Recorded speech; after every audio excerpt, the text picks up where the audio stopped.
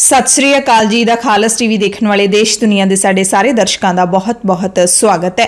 ਪੰਜਾਬ ਦੀਆਂ ਖਾਸ ਖਬਰਾਂ ਦੇ ਖਾਸ ਬੁਲੇਟਿਨ ਦੇ ਨਾਲ ਮੈਂ ਹਰਸ਼ਰਨ ਕੌਰ। ਅੱਜ 15 ਅਗਸਤ ਹੈ, ਦਿਨ ਸੋਮਵਾਰ ਹੈ। ਅੱਜ 15 ਅਗਸਤ ਹੈ, ਭਾਰਤ ਦਾ 75ਵਾਂ ਆਜ਼ਾਦੀ ਦਿਹਾੜਾ। ਜਾਂ ਕਹਿ ਲਈਏ ਕਿ ਭਾਰਤ ਦੀ ਵੰਡ ਹੋਏ ਨੂੰ ਪੂਰੇ 75 ਸਾਲ ਹੋ ਗਏ ਨੇ ਤੇ ਅੱਜ ਪੂਰਾ ਭਾਰਤ 76ਵਾਂ ਸੁਤੰਤਰਤਾ ਦਿਹਾੜਾ ਮਨਾ ਰਿਹਾ ਹੈ। ਦੁਨੀਆ ਭਰ ਦੇ ਅਨੇਕਾਂ ਮੁਲਕਾਂ ਦੇ ਵਾਂਗ ਭਾਰਤ ਨੂੰ ਵੀ ਗੁਲਾਮੀ ਦਾ ਜੂਲਾ ਹੰਡਾਉਣਾ ਪਿਆ ਤੇ ਬੜਾ ਲੰਬਾ ਸਮਾਂ ਹੰਡਾਉਣਾ ਪਿਆ ਤੇ ਆਜ਼ਾਦੀ ਹਾਸਲ ਕਰਨ ਦੇ ਲਈ ਲੰਮੀ ਜੱਤੋ-ਜਹਿਦ ਤੇ ਕੁਰਬਾਨੀਆਂ ਕਰਨੀਆਂ ਪਈਆਂ।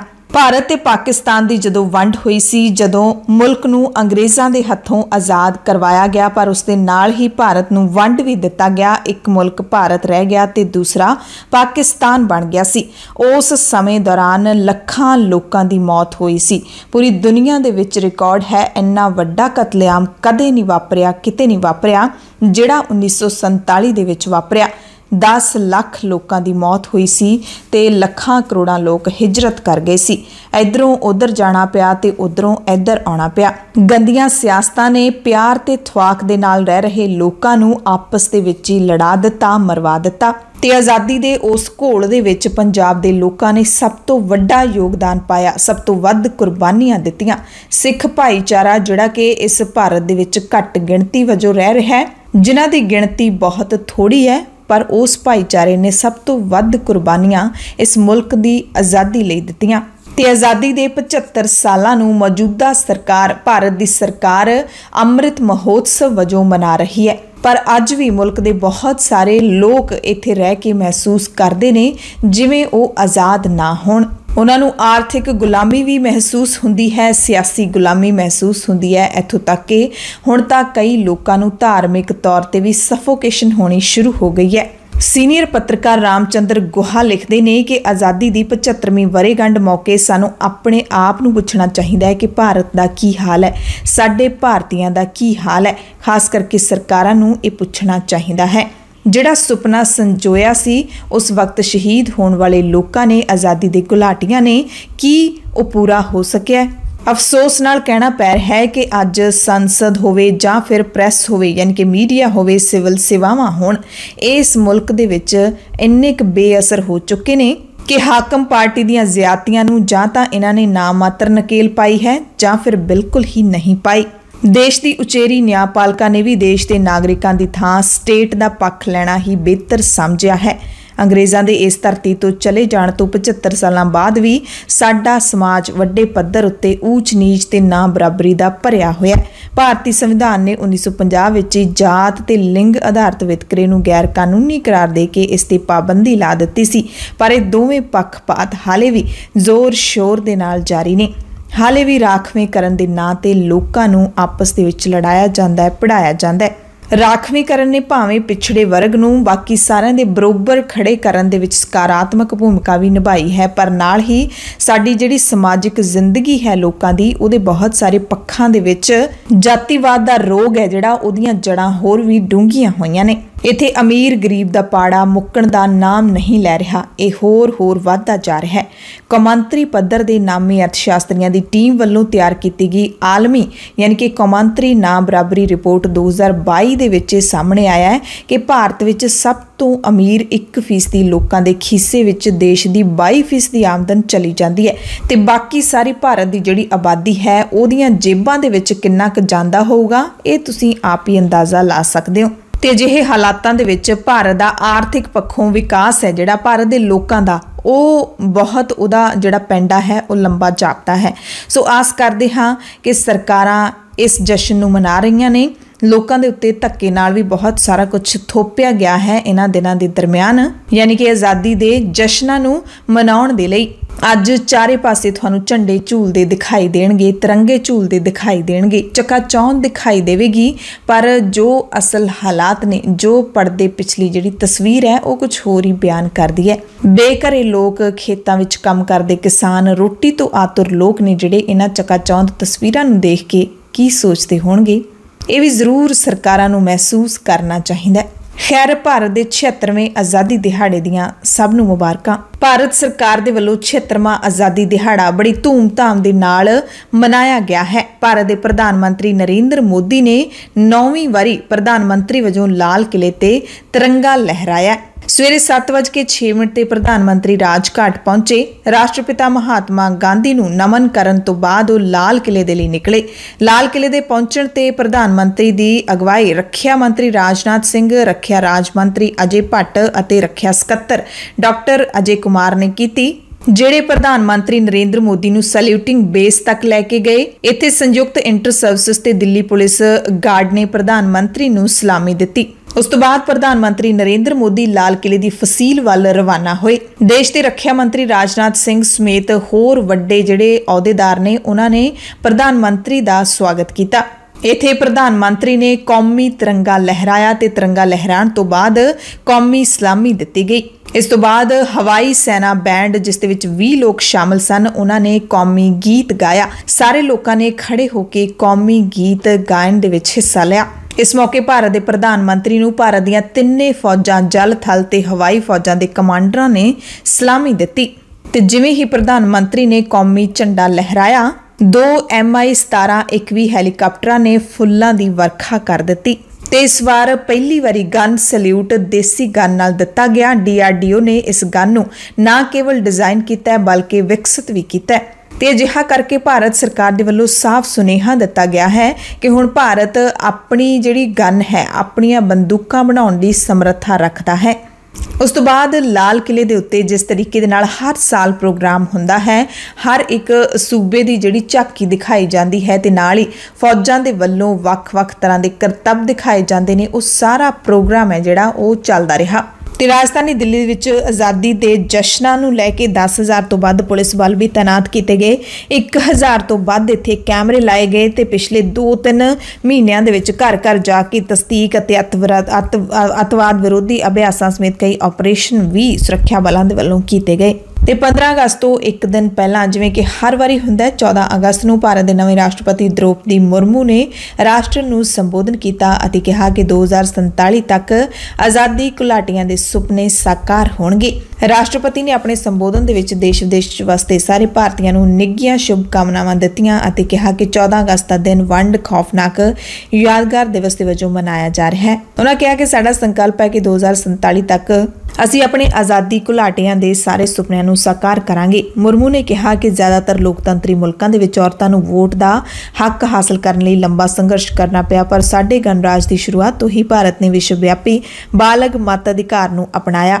ਉਹਨਾਂ ਕਿਹਾ ਕਿ ਇਹ ਤਿਉਹਾਰ ਭਾਰਤ ਦੇ ਲੋਕਾਂ ਨੂੰ ਸਮਰਪਿਤ ਹੈ। ਰਾਸ਼ਟਰਪਤੀ ਨੇ ਆਰਥਿਕ ਸੁਧਾਰਾਂ ਦੇ ਨਾਲ ਲੋਕਾਂ ਦੀ ਭਲਾਈ ਲਈ ਕਦਮ ਚੁੱਕੇ ਜਾਣ ਦਾ ਵੀ ਆਪਣੀ ਸਰਕਾਰ ਦੇ ਵੱਲੋਂ ਦਾਅਵਾ ਕੀਤਾ। ਇਸ ਦੇ ਨਾਲ ਹੀ ਜੇ ਪੰਜਾਬ ਦੀ ਗੱਲ ਕਰ ਲਈਏ ਤਾਂ ਪੰਜਾਬ ਦੇ ਮੁੱਖ ਮੰਤਰੀ ਭਗਵੰਤ ਸਿੰਘ ਮਾਨ ਨੇ ਲੁਧਿਆਣਾ ਦੇ ਵਿੱਚ ਤਿਰੰਗਾ ਲਹਿਰਾਉਣ ਦੀ ਰਸਮ ਅਦਾ ਕੀਤੀ ਅਤੇ ਹੋਰ ਜਿਹੜੇ ਸਾਰੇ ਕੈਬਨਿਟ ਮੰਤਰੀ ਨੇ ਤੇ ਵਿਧਾਇਕ ਨੇ, ਉਹਨਾਂ ਨੇ ਵੀ ਵੱਖ-ਵੱਖ ਥਾਵਾਂ ਦੇ ਉੱਤੇ ਤਿਰੰਗਾ ਲਹਿਰਾਉਣ ਦੀ ਰਸਮ ਅਦਾ ਕੀਤੀ। ਤੇ ਅੱਜ ਮੁੱਖ ਮੰਤਰੀ ਦੇ ਵੱਲੋਂ ਆਮ ਆਦਮੀ ਕਲੀਨਿਕ ਦਾ ਉਦਘਾਟਨ ਵੀ ਕੀਤਾ ਜਾਏਗਾ। ਆਮ ਆਦਮੀ ਪਾਰਟੀ ਦੀ ਸਰਕਾਰ ਦੇ ਵੱਲੋਂ ਪੰਜਾਬ ਦੇ ਤਕਰੀਬਨ ਹਰ ਜ਼ਿਲ੍ਹੇ ਦੇ ਵਿੱਚ ਆਮ ਆਦਮੀ ਕਲੀਨਿਕ ਖੋਲੇ ਜਾਣਗੇ, ਜਿੱਥੇ ਲੋਕਾਂ ਨੂੰ ਸਸਤਾ ਤੇ ਮੁਫਤ ਇਲਾਜ ਵੀ ਮਿਲੇਗਾ। ਤੇ ਪਹਿਲੇ ਪੜਾਅ ਦੇ ਵਿੱਚ ਅੱਜ ਯਾਨੀ ਕਿ 15 ਅਗਸਤ ਦੇ ਆਜ਼ਾਦੀ ਦਿਹਾੜੇ ਦੇ ਮੌਕੇ ਸਰਕਾਰ ਦੇ ਵੱਲੋਂ 75 ਆਮ ਆਦਮੀ ਕਲੀਨਿਕ ਸ਼ੁਰੂ ਕੀਤੇ ਜਾਣਗੇ। ਹਾਲਾਂਕਿ ਇੱਕ ਦਿਨ ਪਹਿਲਾਂ ਇਹ ਵੀ ਖਬਰਾਂ ਚੱਲੀਆਂ ਸਨ ਕਿ ਸਰਕਾਰ ਦੇ ਵੱਲੋਂ 75 ਦੀ ਬਜਾਏ 100 ਕਲੀਨਿਕ ਖੋਲ ਦਿੱਤੇ ਜਾਣਗੇ।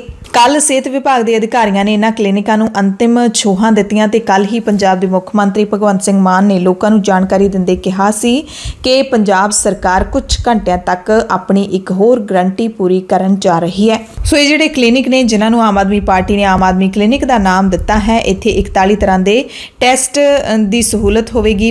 75 ਤਰ੍ਹਾਂ ਦੀਆਂ ਦਵਾਈਆਂ ਮਰੀਜ਼ਾਂ ਨੂੰ ਮੁਫਤ ਮਿਲਣਗੀਆਂ। ਰੋਜ਼ਾਨਾ 8 ਵਜੇ ਤੋਂ ਲੈ ਕੇ 2 ਵਜੇ ਤੱਕ ਇਹ ਕਲੀਨਿਕ ਖੁੱਲਣਗੇ। ਸਿਹਤ ਵਿਭਾਗ ਦੇ ਵੱਲੋਂ ਇਹਨਾਂ ਕਲੀਨਿਕਾਂ ਦੇ ਵਿੱਚ ਡਾਕਟਰ ਤੇ ਪੈਰਾਮੈਡੀਕਲ ਸਟਾਫ ਦੀ ਤਾਇਨਾਤੀ ਕਰ ਦਿੱਤੀ ਗਈ ਹੈ। ਮੁੱਖ ਮੰਤਰੀ ਭਗਵੰਤ ਮਾਨ ਦੇ ਵੱਲੋਂ ਲੁਧਿਆਣਾ ਜ਼ਿਲ੍ਹੇ ਦੇ ਵਿੱਚ ਆਮ ਆਦਮੀ ਪਾਰਟੀ, ਆਮ ਆਦਮੀ ਕਲੀਨਿਕ ਦਾ ਉਦਘਾਟਨ ਕੀਤਾ ਗਿਆ। ਹਾਲਾਂਕਿ ਵਿਰੋਧੀ ਇਹਨਾਂ ਕਲੀਨਿਕਾਂ ਦੀਆਂ ਜਿਹੜੀਆਂ ਇਮਾਰਤਾਂ ਨੇ, ਉਹਨਾਂ ਤੇ ਆਏ ਰੰਗ ਰੋਗਨ ਦੇ ਖਰਚੇ ਨੂੰ ਲੈ ਕੇ, ਵੱਡੇ ਖਰਚੇ ਨੂੰ ਲੈ ਕੇ ਸਵਾਲ ਵੀ ਚੁੱਕਦੇ ਰਹੇ ਨੇ। ਤੇ ਮੁੱਖ ਮੰਤਰੀ ਮਾਨ ਦੀ ਆਮਦ ਦੇ ਮੱਦੇਨਜ਼ਰ ਪੁਲਿਸ ਨੇ ਲੁਧਿਆਣੇ ਦੇ ਵਿੱਚ ਸਖਤ ਸੁਰੱਖਿਆ ਪ੍ਰਬੰਧ ਕੀਤੇ ਹੋਏ ਨੇ। ਆਜ਼ਾਦੀ ਦਿਹਾੜੇ ਮੌਕੇ ਲੁਧਿਆਣਾ ਦੇ ਵਿੱਚ ਵੱਖ-ਵੱਖ ਥਾਈਂ ਲਗਭਗ 3000 ਪੁਲਿਸ ਮੁਲਾਜ਼ਮ ਤਾਇਨਾਤ ਕੀਤੇ ਗਏ। ਤੇ 1100 ਕੈਮਰੇ ਲਾਏ ਗਏ। ਪੂਰੇ ਸ਼ਹਿਰ ਨੂੰ ਤਿਰੰਗੇ ਦੇ ਰੰਗਾਂ ਨਾਲ ਸਜਾ ਦਿੱਤਾ ਗਿਆ। ਚੌਂਕਾਂ ਦੇ ਵਿੱਚ ਰੰਗ ਬਰੰਗੀਆਂ ਲਾਈਟਾਂ ਲਾਈਆਂ ਗਈਆਂ। ਲੁਧਿਆਣਾ ਦੇ ਗੁਰੂ ਨਾਨਕ ਸਟੇਡੀਅਮ ਦੇ ਵਿੱਚ ਹੋਣ ਵਾਲੇ ਸੂਬਾ ਪੱਧਰੀ ਸਮਾਗਮ ਦੌਰਾਨ ਵੱਖ-ਵੱਖ ਖੇਤਰਾਂ ਦੇ ਵਿੱਚ ਮੱਲਾਂ ਮਾਰਨ ਵਾਲੀਆਂ ਸੱਤ ਸ਼ਖਸੀਅਤਾਂ ਨੂੰ ਸਟੇਟ ਅਵਾਰਡ ਦਿੱਤੇ ਜਾਣਗੇ। ਮੁੱਖ ਮੰਤਰੀ ਭਗਵੰਤ ਸਿੰਘ ਮਾਨ ਕੱਲ ਯਾਨੀ ਕਿ ਇੱਕ ਦਿਨ ਪਹਿਲਾਂ ਹੀ ਲੁਧਿਆਣਾ ਦੇ ਵਿੱਚ ਪਹੁੰਚ ਗਏ ਸਨ। ਸੋ ਭਾਵੇਂ ਮੁੱਖ ਮੰਤਰੀ ਦੀ ਆਮਦ ਨੂੰ ਲੈ ਕੇ ਲੁਧਿਆਣਾ ਦੇ ਵਿੱਚ ਸੁਰੱਖਿਆ ਸਖਤ ਕੀਤੀ ਗਈ, ਪਰ ਇੱਕ ਦਿਨ ਪਹਿਲਾਂ ਮੁੱਖ ਮੰਤਰੀ ਦੇ ਪਹੁੰਚਣ ਤੋਂ ਤੁਰੰਤ ਬਾਅਦ, ਕਿਉਂਕਿ ਮੁੱਖ ਮੰਤਰੀ ਇੱਕ ਦਿਨ ਪਹਿਲਾਂ ਹੀ ਪਹੁੰਚ ਗਏ ਸੀ, ਉਹਨਾਂ ਦੇ ਪਹੁੰਚਣ ਤੋਂ ਬਾਅਦ ਲੁਧਿਆਣਾ ਦੇ ਦੁੱਗਰੀ ਦੀ ਫੇਸ ਇੱਕ ਦੀ ਮਾਰਕੀਟ ਵਿੱਚ ਹਮਲਾਵਰਾਂ ਦੇ ਵੱਲੋਂ ਗੋਲੀਆਂ ਚਲਾਈਆਂ ਗਈਆਂ। ਇਸ ਮੌਕੇ ਦੋ ਜਣੇ ਜ਼ਖਮੀ ਹੋ ਗਏ। ਜ਼ਖਮੀ ਹੋਏ ਨੌਜਵਾਨਾਂ ਦੀ ਉਮਰ 27 ਸਾਲ ਤੇ 31 ਸਾਲ ਹੈ ਤੇ ਮੁੱਖ ਮੰਤਰੀ ਦੀ ਆਮਦ ਤੋਂ ਤੁਰੰਤ ਬਾਅਦ ਅਜਿਹੀ ਘਟਨਾ ਵਾਪਰਨ ਦੇ ਨਾਲ ਇਲਾਕੇ ਵਿੱਚ ਦਹਿਸ਼ਤ ਦਾ ਮਾਹੌਲ ਬਣ ਗਿਆ ਸੀ। 15 ਅਗਸਤ ਤੋਂ ਇੱਕ ਦਿਨ ਪਹਿਲਾਂ, ਯਾਨੀ ਕਿ 14 ਅਗਸਤ ਨੂੰ, ਸ਼੍ਰੋਮਣੀ ਅਕਾਲੀ ਦਲ ਅੰਮ੍ਰਿਤਸਰ ਸਿਮਰਨਜੀਤ ਸਿੰਘ ਮਾਨ ਦੀ ਪਾਰਟੀ ਦੇ ਵੱਲੋਂ ਤਖਤ ਦਮਦਮਾ ਸਾਹਿਬ ਤਲਵੰਡੀ ਸਾਬੋ ਵਿਖੇ ਖਾਲਸਾਈ ਝੰਡਿਆਂ ਦੇ ਨਾਲ ਮਾਰਚ ਕੱਢਿਆ ਗਿਆ। ਸਿਮਰਨਜੀਤ ਸਿੰਘ ਮਾਨ ਦੇ ਵੱਲੋਂ ਐਤਕੀ ਲੋਕਾਂ ਨੂੰ ਅਪੀਲ ਵੀ ਵਾਰੀ-ਵਾਰੀ ਕੀਤੀ ਗਈ ਹੈ ਕਿ ਤਿਰੰਗਾ ਲਹਿਰਾਉਣ ਦੀ ਥਾਂ ਐਤਕੀ ਖਾਲਸੇ ਦਾ ਜਿਹੜਾ ਕੇਸਰੀ ਨਿਸ਼ਾਨ ਹੈ, ਉਹ ਲਹਿਰਾਇਆ ਜਾਵੇ। ਅਕਾਲੀ ਦਲ ਅੰਮ੍ਰਿਤਸਰ ਦੇ ਸਰਕਲ ਪ੍ਰਧਾਨ ਯਾਦਵਿੰਦਰ ਸਿੰਘ ਭਾਗੀਵੰਦ ਦੀ ਅਗਵਾਈ ਵਿੱਚ ਇਹ ਮਾਰਚ ਤਖਤ ਸ੍ਰੀ ਦਮਦਮਾ ਸਾਹਿਬ ਤੋਂ ਅਰਦਾਸ ਕਰਨ ਉਪਰੰਤ ਰਵਾਨਾ ਹੋਇਆ। ਬਾਜ਼ਾਰਾਂ ਵਿੱਚੋਂ ਹੁੰਦਾ ਹੋਇਆ ਖੰਡਾ ਚੌਂਕ ਆ ਕੇ ਸਮਾਪਤ ਹੋਇਆ। ਆਗੂਆਂ ਨੇ ਕਿਹਾ ਕਿ ਭਾਰਤ ਦੀ ਆਜ਼ਾਦੀ ਲਈ ਸਭ ਤੋਂ ਵੱਧ ਕੁਰਬਾਨੀਆਂ ਸਿੱਖਾਂ ਨੇ ਦਿੱਤੀਆਂ, ਪਰ ਦੇਸ਼ ਆਜ਼ਾਦ ਹੋਣ ਤੋਂ ਬਾਅਦ ਗ੍ਰਹਿ ਮੰਤਰਾਲੇ ਨੇ ਸਿੱਖਾਂ ਨੂੰ ਜਰਾਇਮ ਪੇਸ਼ਾ ਕੌਮ ਕਰਾਰ ਦੇ ਦਿੱਤਾ ਸੀ। ਪੰਜਾਬ ਜੋ ਹੈ ਹਿਮਾਚਲ ਤੇ ਹਰਿਆਣਾ ਵੱਖ ਕਰ ਦਿੱਤੇ ਗਏ।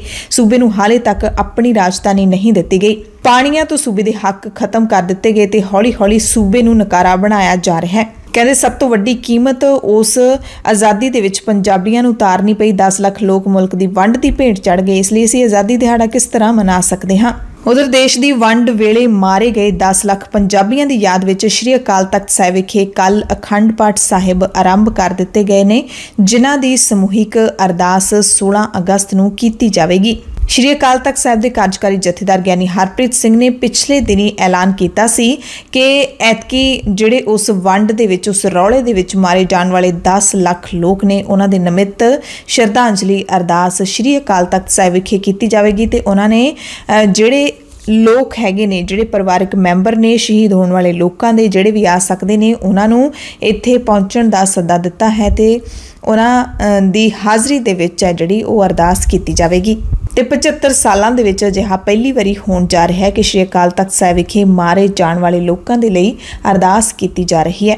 15 ਅਗਸਤ ਦੇ ਜਸ਼ਨਾਂ ਮੌਕੇ ਕੇਂਦਰੀ ਹਥਿਆਰਬੰਦ ਪੁਲਿਸ ਫੋਰਸਸ ਯਾਨੀ ਕਿ ਸੀਏਪੀਐਫ ਅਤੇ ਸੂਬਾ ਪੁਲਿਸ ਬਲਾਂ ਦੇ 1082 ਜਵਾਨਾਂ ਤੋਂ ਇਲਾਵਾ ਆਈਟੀਬੀਪੀ ਦੇ 20 ਜਵਾਨਾਂ ਨੂੰ ਬਹਾਦਰੀ ਲਈ ਸੇਵਾ ਮੈਡਲਾਂ ਨਾਲ ਸਨਮਾਨਿਤ ਕੀਤਾ ਜਾਵੇਗਾ। ਪੰਜਾਬ ਦੇ ਵੀ ਕਈ ਪੁਲਿਸ ਅਧਿਕਾਰੀਆਂ ਤੇ ਜਵਾਨਾਂ ਦੀ ਚੋਣ ਹੋਈ ਹੈ, ਜਿਨ੍ਹਾਂ ਨੂੰ ਸਨਮਾਨ ਦਿੱਤਾ ਜਾਵੇਗਾ। ਤੇ ਭਾਰਤ ਸਰਕਾਰ ਦੇ ਵੱਲੋਂ ਜਿਹੜੀ ਹਰ ਘਰ ਤਿਰੰਗਾ ਮੁਹਿੰਮ ਚਲਾਈ ਗਈ ਹੈ, ਉਸ ਦਰਮਿਆਨ ਕੁਝ ਵਿਵਾਦਿਤ ਖਬਰਾਂ ਵੀ ਪਿਛਲੇ ਕਈ ਦਿਨਾਂ ਤੋਂ ਸਾਹਮਣੇ ਆ ਰਹੀਆਂ ਨੇ। ਭਾਰਤ ਦੇ ਵਿੱਚ ਜਿੱਥੇ ਹਰਿਆਣਾ ਸਰਕਾਰ ਨੇ ਗੁਰੂ ਘਰਾਂ ਦੇ ਵਿੱਚ ਤਿਰੰਗਾ ਲਹਿਰਾਉਣ ਦੇ ਹੁਕਮ ਜਾਰੀ ਕੀਤੇ ਸਨ, ਹਾਲਾਂਕਿ ਲਹਿਰਾਇਆ ਨਹੀਂ ਗਿਆ ਉਤੇ ਹੀ ਮੱਧ ਪ੍ਰਦੇਸ਼ ਦੇ ਇੰਦੌਰ ਦੇ ਵਿੱਚ ਵੀ ਇਤਿਹਾਸਿਕ ਗੁਰਦੁਆਰਾ ਇਮਲੀ ਸਾਹਿਬ ਵਿਖੇ ਤਿਰੰਗਾ ਲਹਿਰਾਉਣ ਦੀ ਖਬਰ ਮਿਲੀ ਹੈ, ਜਿਸ ਤੋਂ ਬਾਅਦ ਸ਼੍ਰੋਮਣੀ ਗੁਰਦੁਆਰਾ ਪ੍ਰਬੰਧਕ ਕਮੇਟੀ ਨੇ ਸਖਤ ਇਤਰਾਜ਼ ਜ਼ਾਹਿਰ ਕਰਦਿਆਂ ਇਸ ਦੀ ਜਾਂਚ ਦੇ ਹੁਕਮ ਦੇ ਦਿੱਤੇ ਨੇ।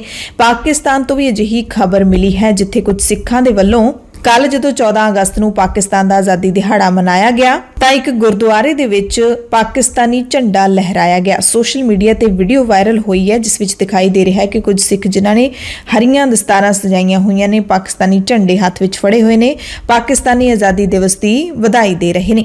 ਉੱਥੇ ਹਾਜ਼ਰ ਮੀਡੀਆ ਨੂੰ ਉਹਨਾਂ ਨੇ ਇਹ ਵੀ ਜਾਣਕਾਰੀ ਦਿੱਤੀ ਕਿ ਛੇਤੀ ਹੀ ਇੱਥੇ ਕੇਕ ਕੱਟਣ ਦੀ ਰਸਮ ਵੀ ਅਦਾ ਕੀਤੀ ਜਾਏਗੀ। ਵੀਡੀਓ ਤੋਂ ਅਜਿਹਾ ਪ੍ਰਤੀਤ ਹੁੰਦਾ ਜਿਵੇਂ ਇਤਿਹਾਸਿਕ ਗੁਰਦੁਆਰਾ ਕਰਤਾਰਪੁਰ ਸਾਹਿਬ ਦੀ ਹੋਵੇ।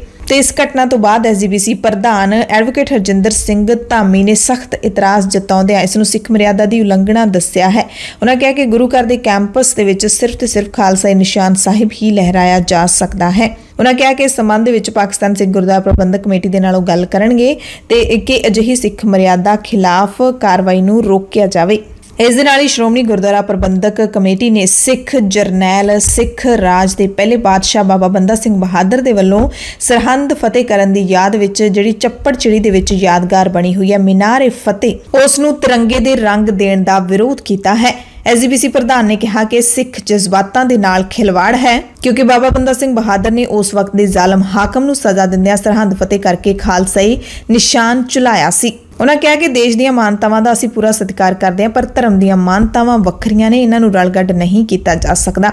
ਦਰਅਸਲ ਇਹ ਜਿਹੜੀਆਂ ਇਮਾਰਤਾਂ ਬਣੀਆਂ ਹੋਈਆਂ ਨੇ, ਉਹ ਪੰਜਾਬ ਸਰਕਾਰ ਦੇ ਅਧੀਨ ਆਉਂਦੀਆਂ ਨੇ ਪੰਜਾਬ ਸਰਕਾਰ ਦੇ ਪ੍ਰਬੰਧ ਅਧੀਨ ਆਉਂਦੀਆਂ ਨੇ। ਗੁਰੂ ਕੀ ਨਗਰੀ ਅੰਮ੍ਰਿਤਸਰ ਦੇ ਵਿੱਚ ਹਿੰਦ ਪਾਕ ਦੋਸਤੀ ਮੇਲਾ ਮਨਾਇਆ ਗਿਆ, ਜਿਸ ਮੌਕੇ ਵੰਡ ਵੇਲੇ ਜਾਨ ਗਵਾਉਣ ਵਾਲਿਆਂ ਨੂੰ ਸ਼ਰਧਾਂਜਲੀਆਂ ਦਿੱਤੀਆਂ ਗਈਆਂ। 1947 ਦੇ ਵਿੱਚ ਹੋਈ ਵੰਡ ਦੌਰਾਨ ਫਿਰਕੂ ਹਿੰਸਾ ਵਿੱਚ ਮਾਰੇ ਗਏ 10 ਲੱਖ ਲੋਕਾਂ ਨੂੰ ਇੱਥੇ ਸ਼ਰਧਾਂਜਲੀ ਦਿੱਤੀ ਗਈ। ਇਸ ਮੌਕੇ ਇੱਕ ਐਲਾਨਨਾਮੇ ਦੇ ਰਾਹੀਂ ਸਰਕਾਰਾਂ ਤੋਂ ਮੰਗ ਕੀਤੀ ਗਈ ਕਿ ਵੰਡ ਵੇਲੇ ਜਿਹੜੇ ਲੋਕ ਉਜਾੜੇ ਦਾ ਸ਼ਿਕਾਰ ਹੋ ਕੇ ਇੱਕ ਦੇਸ਼ ਤੋਂ ਦੂਸਰੇ ਦੇਸ਼ ਗਏ ਸਨ, ਉਹਨਾਂ ਨੂੰ ਆਪਣੀ ਜਨਮ ਭੂਮੀ ਵੇਖਣ ਲਈ ਮਨੁੱਖੀ ਆਧਾਰ ਤੇ ਸੁਖਾਲੇ ਵੀਜ਼ੇ ਰਾਹੀਂ ਸਰਹੱਦ ਪਾਰ ਜਾਣ ਦੀ ਆਗਿਆ ਦਿੱਤੀ ਜਾਵੇ। ਤੇ 15 ਅਗਸਤ ਤੋਂ ਇੱਕ ਦਿਨ ਪਹਿਲਾਂ 14 ਅਗਸਤ ਨੂੰ ਕੀ ਕੁਝ ਅਪਡੇਟਸ ਨੇ ਇਸ ਦਿਨ ਨੂੰ ਲੈ ਕੇ 15 ਅਗਸਤ ਨੂੰ ਲੈ ਕੇ ਉਹ ਵੀ ਤੁਹਾਨੂੰ ਦੱਸ ਦਿੰਦੇ ਆ 14 ਅਗਸਤ ਉਹ ਦਿਨ ਸੀ ਜਦੋਂ ਮੁਲਕ ਦੀ ਵੰਡ ਹੋ ਗਈ ਸੀ। 14 ਅਗਸਤ 1947 ਨੂੰ ਪਾਕਿਸਤਾਨ ਨੂੰ ਵੱਖਰਾ ਮੁਲਕ ਐਲਾਨਿਆ ਗਿਆ ਸੀ। ਇਸੇ ਕਰਕੇ ਪਾਕਿਸਤਾਨ ਦੇ ਵਿੱਚ 14 ਅਗਸਤ ਨੂੰ ਆਜ਼ਾਦੀ ਦਾ ਦਿਹਾੜਾ ਮੁਲਕ ਦੀ ਵੰਡ ਭਾਰਤ ਵਾਲੇ ਪਾਸੇ ਜਿਹੜੀ ਮਨਾਈ ਜਾਂਦੀ ਹੈ। ਪਰ ਪਾਕਿਸਤਾਨ ਕਿਉਂਕਿ ਇੱਕ ਨਵਾਂ ਮੁਲਕ ਬਣਿਆ ਸੀ, ਉਹ ਆਪਣਾ ਆਜ਼ਾਦੀ ਦਿਹਾੜਾ ਮਨਾਉਂਦਾ ਹੈ। 15 ਅਗਸਤ 1947 ਨੂੰ ਭਾਰਤ ਨੂੰ ਆਜ਼ਾਦ ਐਲਾਨਿਆ ਗਿਆ ਸੀ ਤੇ ਜਿਹੜੀ ਇਹ ਦੋ ਮੁਲਕਾਂ ਦੇ ਵਿੱਚ ਵੰਡ ਹੋ ਗਈ ਸੀ, ਇਸ ਵੰਡ ਦੇ ਨਾਲ ਨਾ ਸਿਰਫ ਭਾਰਤੀ ਉਪ ਮਹਾਂਦੀਪ ਨੂੰ ਦੋ ਹਿੱਸਿਆਂ ਦੇ ਵਿੱਚ ਵੰਡ ਦਿੱਤਾ ਗਿਆ ਸੀ, ਬਲਕਿ ਬੰਗਾਲ ਨੂੰ ਵੀ ਵੰਡ ਦਿੱਤਾ ਗਿਆ ਸੀ ਤੇ ਬੰਗਾਲ ਦਾ ਪੂਰਬੀ ਹਿੱਸਾ ਭਾਰਤ ਤੋਂ ਵੱਖ ਹੋ ਕੇ ਪੂਰਬੀ ਪਾਕਿਸਤਾਨ ਬਣ ਗਿਆ ਸੀ, ਜੋ 1971 ਦੀ ਜੰਗ ਤੋਂ ਬਾਅਦ ਬੰਗਲਾਦੇਸ਼ ਬਣ ਗਿਆ ਸੀ।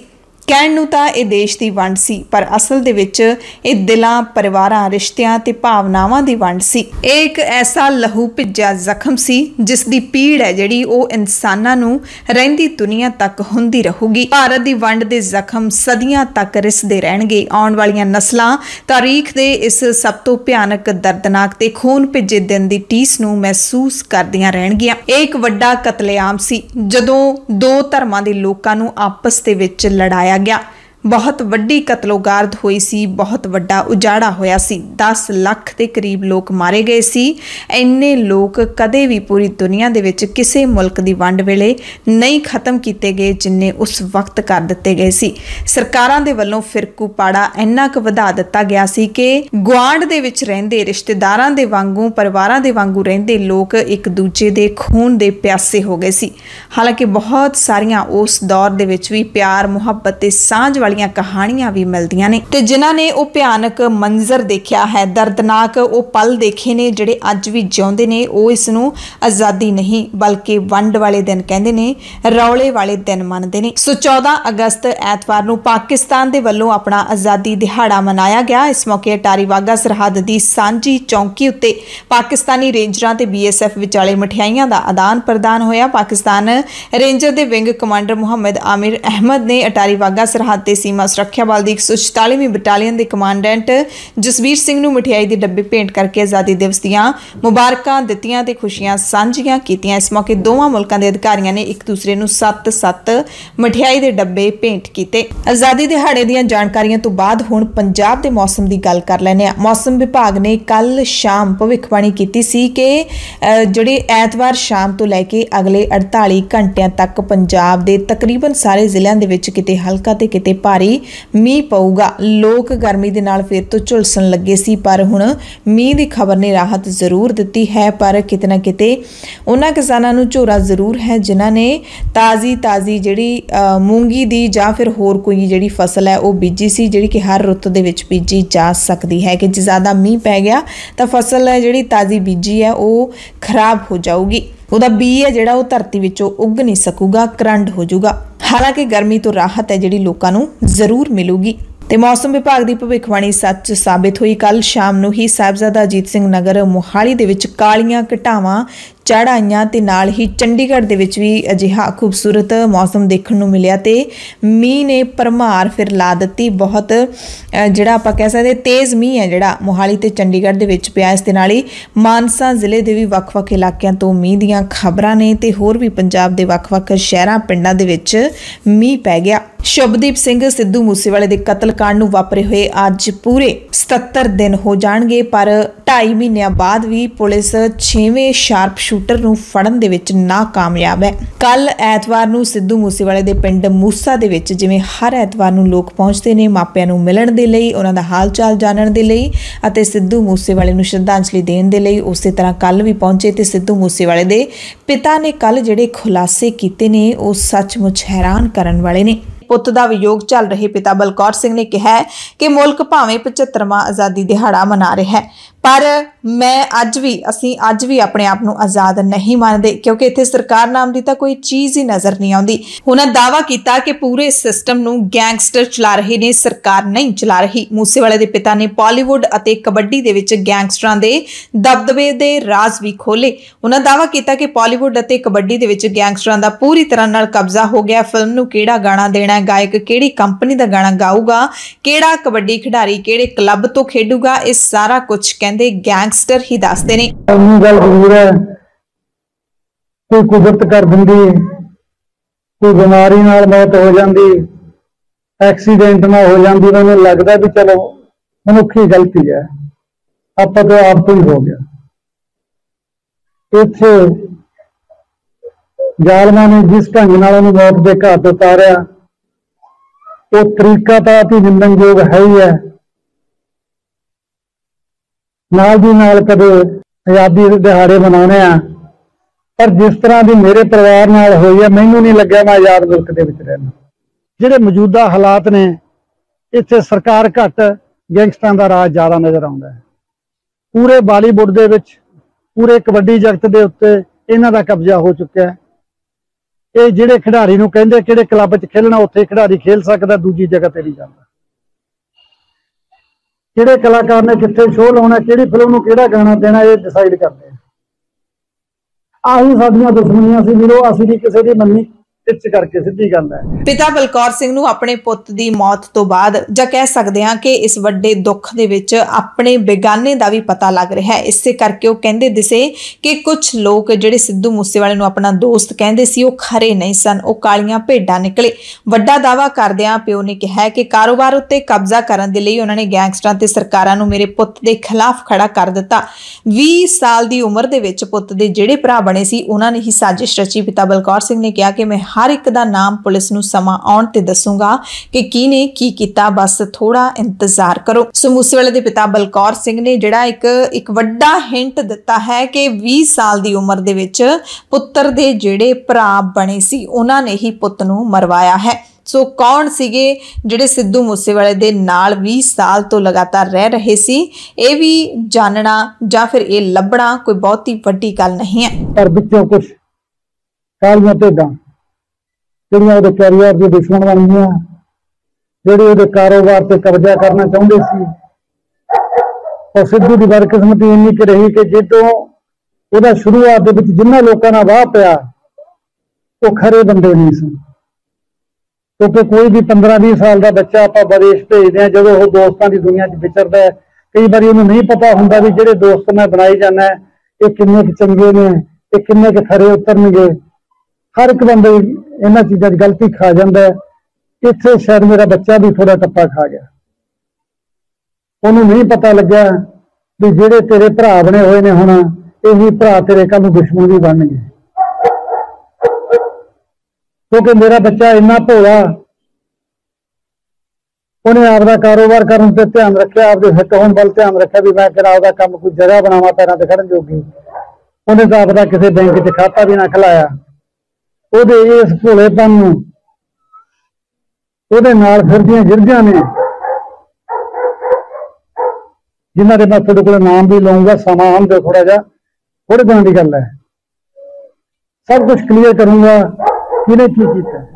ਬਲਕੌਰ ਸਿੰਘ ਨੇ ਵਿੱਕੀ ਮਿੱਡੂ ਖੇੜਾ ਦੇ ਕਤਲ ਵਿੱਚ ਮੁਲਜ਼ਮ ਸ਼ਗਨਪ੍ਰੀਤ ਨੂੰ ਲੈ ਕੇ ਵੀ ਅਹਿਮ ਬਿਆਨ ਦਿੱਤਾ। ਉਹਨਾਂ ਕਿਹਾ ਕਿ ਸ਼ਗਨਪ੍ਰੀਤ ਮੂਸੇਵਾਲੇ ਦਾ ਕਦੇ ਵੀ ਮੈਨੇਜਰ ਨਹੀਂ ਰਿਹਾ, ਬਲਕਿ ਉਹ ਵੀ ਹੋਰਾਂ ਲੋਕਾਂ ਵਾਂਗ ਸਿੱਧੂ ਨੂੰ ਪ੍ਰਸ਼ੰਸਕ ਵਜੋਂ ਮਿਲਣ ਆਇਆ ਸੀ। ਕਹਿੰਦੇ, ਸਾਡਾ ਮੈਨੇਜਰ ਬੰਟੀ ਬੈਂਸ ਸੀ ਤੇ ਹੁਣ ਵੀ ਹੈ। ਪਿਤਾ ਨੇ ਇਹ ਵੀ ਦੱਸਿਆ ਕਿ ਸਿੱਧੂ ਮੂਸੇਵਾਲੇ ਦਾ ਕਿਸੇ ਵੀ ਕੰਪਨੀ ਨਾਲ ਕੋਈ ਕਰਾਰ ਨਹੀਂ ਹੋਇਆ ਸੀ। ਉਹ ਆਪ ਗਾਣੇ ਲਿਖ ਲੈਂਦਾ ਸੀ, 뮤직 ਵੀ ਆਪ ਹੀ ਦਿੰਦਾ ਸੀ। ਇਸੇ ਕਰਕੇ ਵਾਰੀ-ਵਾਰੀ ਕੁਝ ਲੋਕ ਉਸ ਦੀ ਸ਼ੋਹਰਤ ਤੋਂ ਪਰੇਸ਼ਾਨ ਹੋ ਕੇ ਗੈਂਗਸਟਰਾਂ ਦੇ ਕੰਨ ਭਰਦੇ ਸੀ। ਹੁਣ ਸ਼ਗਨਪ੍ਰੀਤ ਦੇ ਉੱਤੇ ਗੱਲ ਆਉਂਦੀ ਹੈ। ਸ਼ਗਨਪ੍ਰੀਤ ਸਿੱਧੂ ਨੂੰ 1 ਸਾਲ ਪਹਿਲਾਂ ਤੋਂ ਜਾਣਨ ਲੱਗਿਆ। ਜਿਵੇਂ ਤੁਸੀਂ ਆਏ, ਉਹਦੇ ਕੋਲੇ ਹਜ਼ਾਰਾਂ ਲੋਕ ਆਉਂਦੇ ਜੀ ਫੋਟੋ ਖਿਚਾਉਣ, ਸ਼ਗਨਪ੍ਰੀਤ ਵੀ ਆਇਆ। ਪਹਿਲਾਂ ਕਿਸੇ ਹੋਰ ਮੁੰਡੇ ਦੇ ਨਾਲ ਆਇਆ ਸੀ। ਹੌਲੀ ਹੌਲੀ ਜਾਣ ਪਹਿਚਾਣ ਜੋ ਹੋ ਗਈ ਉਹ ਇੱਕ ਦੋ ਸ਼ੋਆਂ ਤੇ ਵੀ ਨਾਲ ਚਲਾ ਗਿਆ। ਤਾਂ ਉਹਨੂੰ ਸਾਡਾ ਮੈਨੇਜਰ ਬਣਾਤਾ। ਜਦ ਕਿ ਸਾਡਾ ਮੈਨੇਜਰ ਅੱਜ ਵੀ ਆਫੀਸ਼ੀਅਲ ਦੇ ਬੰਟੀ ਬੈਂਸ ਹੈ ਔਰ ਪਿਛਲੇ 4-5 ਸਾਲ ਤੋਂ ਉਹੀ ਬੰਦਾ ਕੰਮ ਦੇਖ ਰਿਹਾ ਸਿੱਧੂ ਦਾ ਸਾਰਾ। ਕਿਸੇ ਪੈਸੇ ਦੇ ਵਿੱਚ ਇਨਵੋਲਵਮੈਂਟ ਕਿਤੇ ਸ਼ੋਅ ਬੁੱਕ ਕਰਨ ਦੇ ਵਿੱਚ ਕਿੱਥੇ ਦੱਸੋ ਸ਼ਗਨਪ੍ਰੀਤ ਐਤਵਾਰ ਨੂੰ ਪਿੰਡ ਮੂਸਾ ਦੇ ਵਿੱਚ ਪਹੁੰਚਣ ਵਾਲੇ ਲੋਕਾਂ ਨੂੰ ਮਿਲਦੇ ਹੋਏ ਪਿਤਾ ਨੇ ਮੰਗ ਕੀਤੀ ਕਿ ਅਸਲੀ ਗੁਨਾਹਗਾਰ ਸਾਹਮਣੇ ਆਉਣੇ ਚਾਹੀਦੇ ਨੇ, ਕਿਉਂਕਿ ਸਿਰਫ ਸ਼ੂਟਰ ਹੀ ਫੜੇ ਗਏ ਨੇ, ਪਰ ਜਦ ਤੱਕ ਇਹਨਾਂ ਸ਼ੂਟਰਾਂ ਨੂੰ ਕਤਲ ਦਾ ਹੁਕਮ ਦੇਣ ਵਾਲੇ ਅਸਲੀ ਕਾਤਲ ਨਹੀਂ ਫੜੇ ਜਾਂਦੇ, ਉਦੋਂ ਤੱਕ ਕਹਿੰਦੇ ਮੈਂ ਚੁੱਪ ਨਹੀਂ ਬੈਠੂੰਗਾ। ਤੇ ਪੁੱਤ ਨੂੰ ਗਵਾਉਣ ਤੋਂ ਬਾਅਦ ਮੌਤ ਤੋਂ ਬੇਖੌਫ ਹੋਏ ਪਿਓ ਨੇ ਗੈਂਗਸਟਰਾਂ ਨੂੰ ਲਲਕਾਰਦਿਆਂ ਚੇਤਾਵਨੀ ਦਿੱਤੀ ਕਿ ਮੈਂ ਆਪਣੀ ਜ਼ੁਬਾਨ ਬੰਦ ਨਹੀਂ ਕਰੂੰਗਾ, ਭਾਵੇਂ ਮੈਨੂੰ ਇਹਦਾ ਕੋਈ ਵੀ ਅੰਜਾਮ ਕਿਉਂ ਨਾ ਭੁਗਤ। ਭੁਗਤਣਾ ਪਏ। ਜਿਹੜੇ ਮੌਜੂਦਾ ਹਾਲਾਤ ਨੇ, ਇੱਥੇ ਸਰਕਾਰ ਘੱਟ ਗੈਂਗਸਟਰਾਂ ਦਾ ਰਾਜ ਜ਼ਿਆਦਾ ਨਜ਼ਰ ਆਉਂਦਾ ਹੈ। ਪੂਰੇ ਬਾਲੀਵੁੱਡ ਦੇ ਵਿੱਚ, ਪੂਰੇ ਕਬੱਡੀ ਜਗਤ ਦੇ ਉੱਤੇ ਇਹਨਾਂ ਦਾ ਕਬਜ਼ਾ ਹੋ ਚੁੱਕਿਆ ਹੈ। ਇਹ ਜਿਹੜੇ ਖਿਡਾਰੀ ਨੂੰ ਕਹਿੰਦੇ ਕਿਹੜੇ ਕਲੱਬ 'ਚ ਖੇਲਣਾ, ਉੱਥੇ ਖਿਡਾਰੀ ਖੇਲ ਸਕਦਾ, ਦੂਜੀ ਜਗ੍ਹਾ ਤੇ ਨਹੀਂ ਜਾਂਦਾ। ਕਿਹੜੇ ਕਲਾਕਾਰ ਨੇ ਕਿੱਥੇ ਸ਼ੋਅ ਲਾਉਣਾ, ਕਿਹੜੀ ਫਿਲਮ ਨੂੰ ਕਿਹੜਾ ਗਾਣਾ ਦੇਣਾ, ਇਹ ਡਿਸਾਈਡ ਕਰਦੇ ਆ। ਆਹੀ ਸਾਡੀਆਂ ਦੁਸ਼ਮਣੀਆਂ ਸੀ, ਵੀਰੋ, ਅਸੀਂ ਵੀ ਕਿਸੇ ਦੀ ਮੰਨੀ। ਟਿੱਚ ਕਰਕੇ ਸਿੱਧੀ ਗੱਲ ਹੈ। ਜਿਉਂ ਗਿਆ ਮੇਰਾ 5 ਜਿਉਂ ਗਿਆ ਮੇਰਾ 4 ਸਾਲ ਗੱਲ ਮੁੱਕਦੀ ਬੱਬਰ ਸ਼ੇਰ ਢੋਣ ਚੱਕ ਕੇ ਜਿਉਇਆ ਕਿਸੇ ਸਾਲੇ ਦੀ ਈਨ ਨਹੀਂ ਮੰਨੀ, ਚਾਹੇ ਕੋਈ ਗੈਂਗਸਟਰ ਆਪਦੇ ਆਪ ਨੂੰ ਵੱਡਾ ਸਮਝੇ, ਚਾਹੇ ਛੋਟਾ ਸਮਝੇ, ਸਾਨੂੰ ਕਿਸੇ ਤੋਂ ਕੋਈ ਘਬਰਾਹਟ ਨਹੀਂ, ਨਾ ਮੇਰੇ ਪੁੱਤਰੇ ਮੰਨੀ ਹੈ ਨਾ ਮੈਂ ਮੰਨਣਾ ਚਾਹੁੰਦੀ ਰਹਿ ਮੈਂ। ਤੁਸੀਂ ਤੁਹਾਡੇ ਕੋਲੇ ਬੰਦੂਕਾਂ ਨੇ, ਜਦੋਂ ਮਰਜ਼ੀ ਚਾਹੋ ਜਿੱਥੇ ਮਰਜ਼ੀ ਮਿਲ ਸਕਦੇ ਹੋ, ਮੈਨੂੰ ਕਿਸੇ ਗੱਲ ਤੋਂ ਕੋਈ ਘਬਰਾਹਟ ਨਹੀਂ। ਅਸੀਂ ਜ਼ਿੰਦਗੀ ਸਾਨੂੰ ਪ੍ਰਮਾਤਮਾ ਨੇ ਦਿੱਤੀ ਹੈ, ਸਾਹ ਥੋੜੇ ਕੀ ਬਾਲੇ ਕੀ। ਜਿੰਨਾ ਚਿਰ ਉਹਦਾ ਹੁਕਮ ਹੈ, ਆਜ਼ਾਦੀ ਨਾਲ ਰਹਾਂਗੇ ਧੌਣ ਚੱਕ ਕੇ ਜਿਵਾਂਗੇ ਜਿਵੇਂ ਮੇਰਾ ਪੁੱਤ ਜਿਵੇਂ। ਸੋ ਮੂਸੇਵਾਲੇ ਦੇ ਪਿਤਾ ਬਲਕੌਰ ਸਿੰਘ ਨੇ ਪੁੱਤ ਦੀ ਮੌਤ ਤੋਂ ਬਾਅਦ ਇਸ ਪੂਰੇ ਸਿਸਟਮ ਬਾਰੇ ਵੱਡਾ ਖੁਲਾਸਾ ਕੀਤਾ ਹੈ ਜਿਸ ਦੀ ਜਾਂਚ ਜ਼ਾਹਿਰ ਤੌਰ ਤੇ ਹੋਣੀ ਜ਼ਰੂਰ ਬਣਦੀ ਹੈ। ਕਿਉਂਕਿ ਜੇ ਇੰਨਾ ਵੱਡਾ ਦਬਦਬਾ ਇਹਨਾਂ ਗੈਂਗਸਟਰਾਂ ਦਾ ਹੈ ਬਾਲੀਵੁੱਡ ਦੇ ਵਿੱਚ ਤੇ ਕਬੱਡੀ ਦੇ ਵਿੱਚ ਤਾਂ ਜ਼ਰੂਰ ਇਸ ਦੀ ਜਾਂਚ ਹੈ ਜਿਹੜੀ ਉਹ ਹੋਣੀ ਚਾਹੀਦੀ ਹੈ। ਇਹ ਜਿਹੜਾ ਨੈਕਸਸ ਹੈ, ਉਹ ਤੋੜਿਆ ਜਾਣਾ ਚਾਹੀਦਾ ਤੇ ਜਦੋਂ ਸੰਦੀਪ ਨੰਗਲ ਅੰਬੀਆਂ ਦੇ ਕਤਲ ਵੱਲ ਝਾਤੀ ਮਾਰਦੇ ਹਾਂ, ਤਾਂ ਇਹ ਜਿਹੜੇ ਇਲਜ਼ਾਮ ਨੇ ਕਿਤੇ ਨਾ ਕਿਤੇ ਜਾਇਜ਼ ਵੀ ਲੱਗਦੇ ਨੇ। ਸਮੂਸੇ ਵਾਲੇ ਦੇ ਪਿਤਾ ਨੂੰ ਭਾਵੇਂ ਇੱਥੇ ਆਜ਼ਾਦੀ ਮਹਿਸੂਸ ਨਹੀਂ ਹੋ ਰਹੀ, ਪਰ 15 ਅਗਸਤ ਸੋਮਵਾਰ ਨੂੰ ਸਰਕਾਰਾਂ ਸਮੇਤ ਪੂਰੇ ਮੁਲਕ ਦੇ ਵਿੱਚ ਲੋਕਾਂ ਦੇ ਵੱਲੋਂ ਜਸ਼ਨ ਦੇ ਨਾਲ ਇਸ ਆਜ਼ਾਦੀ ਦੀ 75ਵੀਂ ਵਰ੍ਹੇਗੰਢ ਨੂੰ ਮਨਾਇਆ ਜਾਵੇਗਾ। ਪੂਰੇ ਪੰਜਾਬ ਦੇ ਵਿੱਚ ਸਰਕਾਰੀ ਬੱਸਾਂ ਦੇ ਕੱਚੇ ਕਾਮਿਆਂ ਦੀ ਹੜਤਾਲ ਅੱਜ ਵੀ ਜਾਰੀ ਰਹੇਗੀ, ਜਦਕਿ ਪ੍ਰਾਈਵੇਟ ਜਿਹੜੇ ਬੱਸ ਆਪਰੇਟਰ ਨੇ, ਉਹਨਾਂ ਦੇ ਉਹਨਾਂ ਨੇ ਮੁੱਖ ਮੰਤਰੀ ਦੇ ਘਿਰਾਓ ਦਾ ਪ੍ਰੋਗਰਾਮ ਮੁਲਤਵੀ ਕਰ ਦਿੱਤਾ ਹੈ। ਕੱਲ ਪੰਜਾਬ ਦੇ ਕੈਬਨਿਟ ਮੰਤਰੀਆਂ ਦੇ ਨਾਲ ਮੀਟਿੰਗ ਹੋਈ ਹੈ। ਜਿਸ ਤੋਂ ਬਾਅਦ ਮੁੱਖ ਮੰਤਰੀ ਭਗਵੰਤ ਮਾਨ ਦੇ ਨਾਲ 18 ਤਰੀਕ ਨੂੰ ਇਹਨਾਂ ਦੀ ਮੀਟਿੰਗ ਤੈਅ ਕਰਵਾਈ ਗਈ ਹੈ ਤੇ ਕੈਬਨਿਟ ਮੰਤਰੀਆਂ ਨੇ ਮੰਗਾਂ ਮੰਨਣ ਦਾ ਭਰੋਸਾ ਦਿੱਤਾ, ਜਿਸ ਤੋਂ ਬਾਅਦ ਪ੍ਰਾਈਵੇਟ ਬੱਸ ਆਪਰੇਟਰਾਂ ਨੇ ਘਿਰਾਓ ਦਾ ਪ੍ਰੋਗਰਾਮ ਮੁਲਤਵੀ ਕਰ ਦਿੱਤਾ। ਜਗਰਾਉਂ ਤੋਂ ਖਬਰ ਹੈ ਜਿੱਥੇ ਵਾਤਾਵਰਣ ਪ੍ਰੇਮੀਆਂ ਨੇ ਜਮਹੂਰੀ ਕਿਸਾਨ ਸਭਾ ਦੀ ਅਗਵਾਈ ਵਿੱਚ ਕੀਤੇ ਐਲਾਨ ਮੁਤਾਬਕ ਸਤਲੁਜ ਦਰਿਆ ਦੇ ਵਿੱਚ ਪੈਂਦੇ ਬੁੱਢੇ ਨਾਲੇ ਦੇ ਦੂਸ਼ਿਤ ਪਾਣੀ ਨੂੰ ਰੋਕਣ ਲਈ ਮਿੱਟੀ ਨਾਲ ਭਰੀਆਂ ਹਜ਼ਾਰਾਂ ਬੋਰੀਆਂ ਲਾ ਕੇ ਬੰਨ ਮਾਰ ਦਿੱਤਾ, ਯਾਨੀ ਕਿ ਸਤਲੁਜ ਪੈਂਦਾ ਬੁੱਢੇ ਦਰਿਆ ਦਾ ਪਾਣੀ ਰੋਕ ਦਿੱਤਾ ਗਿਆ ਹੈ। ਪੁਲਿਸ ਨੇ ਇਸ ਮੌਕੇ ਵਿਗਨ ਪਾਉਣ ਦੀ ਕੋਸ਼ਿਸ਼ ਵੀ ਕੀਤੀ। ਸਕੂਲ ਵਿੱਚ ਲੱਗਿਆ ਟੈਂਟ ਵੀ ਪੁੱਟ ਦਿੱਤਾ, ਪਰ ਵਾਤਾਵਰਣ ਪ੍ਰੇਮੀਆਂ ਨੇ ਮਿੱਥੇ ਨਿਸ਼ਾਨੇ ਦੀ ਪੂਰਤੀ ਬੰਨ ਮਾਰ ਕੇ ਕੀਤੀ। ਉਹਨਾਂ ਮੰਗ ਕੀਤੀ ਕਿ ਸਤਲੁਜ ਦਰਿਆ ਦੇ ਵਿੱਚ ਪੈਂਦੇ ਗੰਦੇ ਪਾਣੀ ਨੂੰ ਬੰਦ ਕਰਨ ਦਾ ਪੱਕਾ ਪ੍ਰਬੰਧ ਕੀਤਾ ਜਾਵੇ ਤੇ ਬੁੱਢੇ ਨਾਲੇ ਨੂੰ ਦੂਸ਼ਿਤ ਕਰਨ ਵਾਲੀਆਂ ਲੁਧਿਆਣਾ ਸ਼ਹਿਰ ਦੀਆਂ ਆਸ-ਪਾਸ ਦੀਆਂ ਫੈਕਟਰੀਆਂ ਨੇ। ਇਹਨਾਂ ਤੇ ਰੋਕ ਲੱਗਣੀ ਚਾਹੀਦੀ ਹੈ। ਮਾਨਸਾ ਤੋਂ ਖਬਰ ਹੈ, ਜਿੱਥੇ ਜ਼ਿਲ੍ਹਾ ਪ੍ਰੀਸ਼ਦ ਦੇ ਚੇਅਰਮੈਨ ਵਿਕਰਮ ਸਿੰਘ ਮੋਫਰ ਸਮੇਤ 6 ਜਣਿਆਂ ਦੇ ਖਿਲਾਫ ਮਾਨਸਾ ਜ਼ਿਲ੍ਹੇ ਦੇ ਬੋਹਾ ਥਾਣੇ ਦੇ ਵਿੱਚ ਕੇਸ ਦਰਜ ਕੀਤਾ ਗਿਆ ਹੈ। ਇਹਨਾਂ ਦੇ ਖਿਲਾਫ ਇਰਾਦਾ ਕਤਲ ਤੇ ਅਸਲਾ ਐਕਟ ਸਣੇ ਵੱਖ-ਵੱਖ ਧਾਰਾਵਾਂ ਤਹਿਤ ਪਰਚਾ ਦਰਜ ਕੀਤਾ ਗਿਆ। ਮਾਮਲਾ ਪੁਲਿਸ ਦੇ ਸੀਨੀਅਰ ਅਧਿਕਾਰੀਆਂ ਦੇ ਧਿਆਨ ਵਿੱਚ ਆਉਣ ਤੋਂ ਬਾਅਦ ਇਰਾਦਾ ਕਤਲ ਦੀ ਧਾਰਾ 307 ਨੂੰ ਜ਼ਰੂਰ ਤੋੜਿਆ ਗਿਆ ਹੈ। ਕਿਉਂਕਿ ਪੁਲਿਸ ਦੇ ਨਾਲ ਖਿੱਚਤੂ ਦੌਰਾਨ ਤਿੰਨ ਮੁਲਾਜ਼ਮਾਂ ਨੂੰ ਜ਼ਖਮੀ ਕਰਨ ਤੇ ਪਿਸਤੌਲ ਦਿਖਾ ਕੇ ਧਮਕਾਉਣ ਦੇ ਦੋਸ਼ ਇਹਨਾਂ ਦੇ ਖਿਲਾਫ ਲੱਗੇ ਨੇ। ਪੁਲਿਸ ਦੇ ਦੱਸਣ ਮੁਤਾਬਿਕ ਮੁਲਜ਼ਮਾਂ ਨੇ ਪੁਲਿਸ ਨਾਲ ਬਹਿਸ ਕਰਦਿਆਂ ਹੱਥੋਂ-ਪਾਈ ਕੀਤੀ, ਜਿਸ ਦੌਰਾਨ ਤਿੰਨ ਪੁਲਿਸ ਮੁਲਾਜ਼ਮ ਮਾਮੂਲੀ ਜ਼ਖਮੀ ਹੋਏ ਤੇ ਉਹਨਾਂ ਨੂੰ ਹਸਪਤਾਲ 'ਚ ਦਾਖਲ ਕਰਵਾਇਆ ਗਿਆ, ਜਿਨ੍ਹਾਂ ਦੀ ਹਾਲਤ ਹੁਣ ਠੀਕ ਹੈ।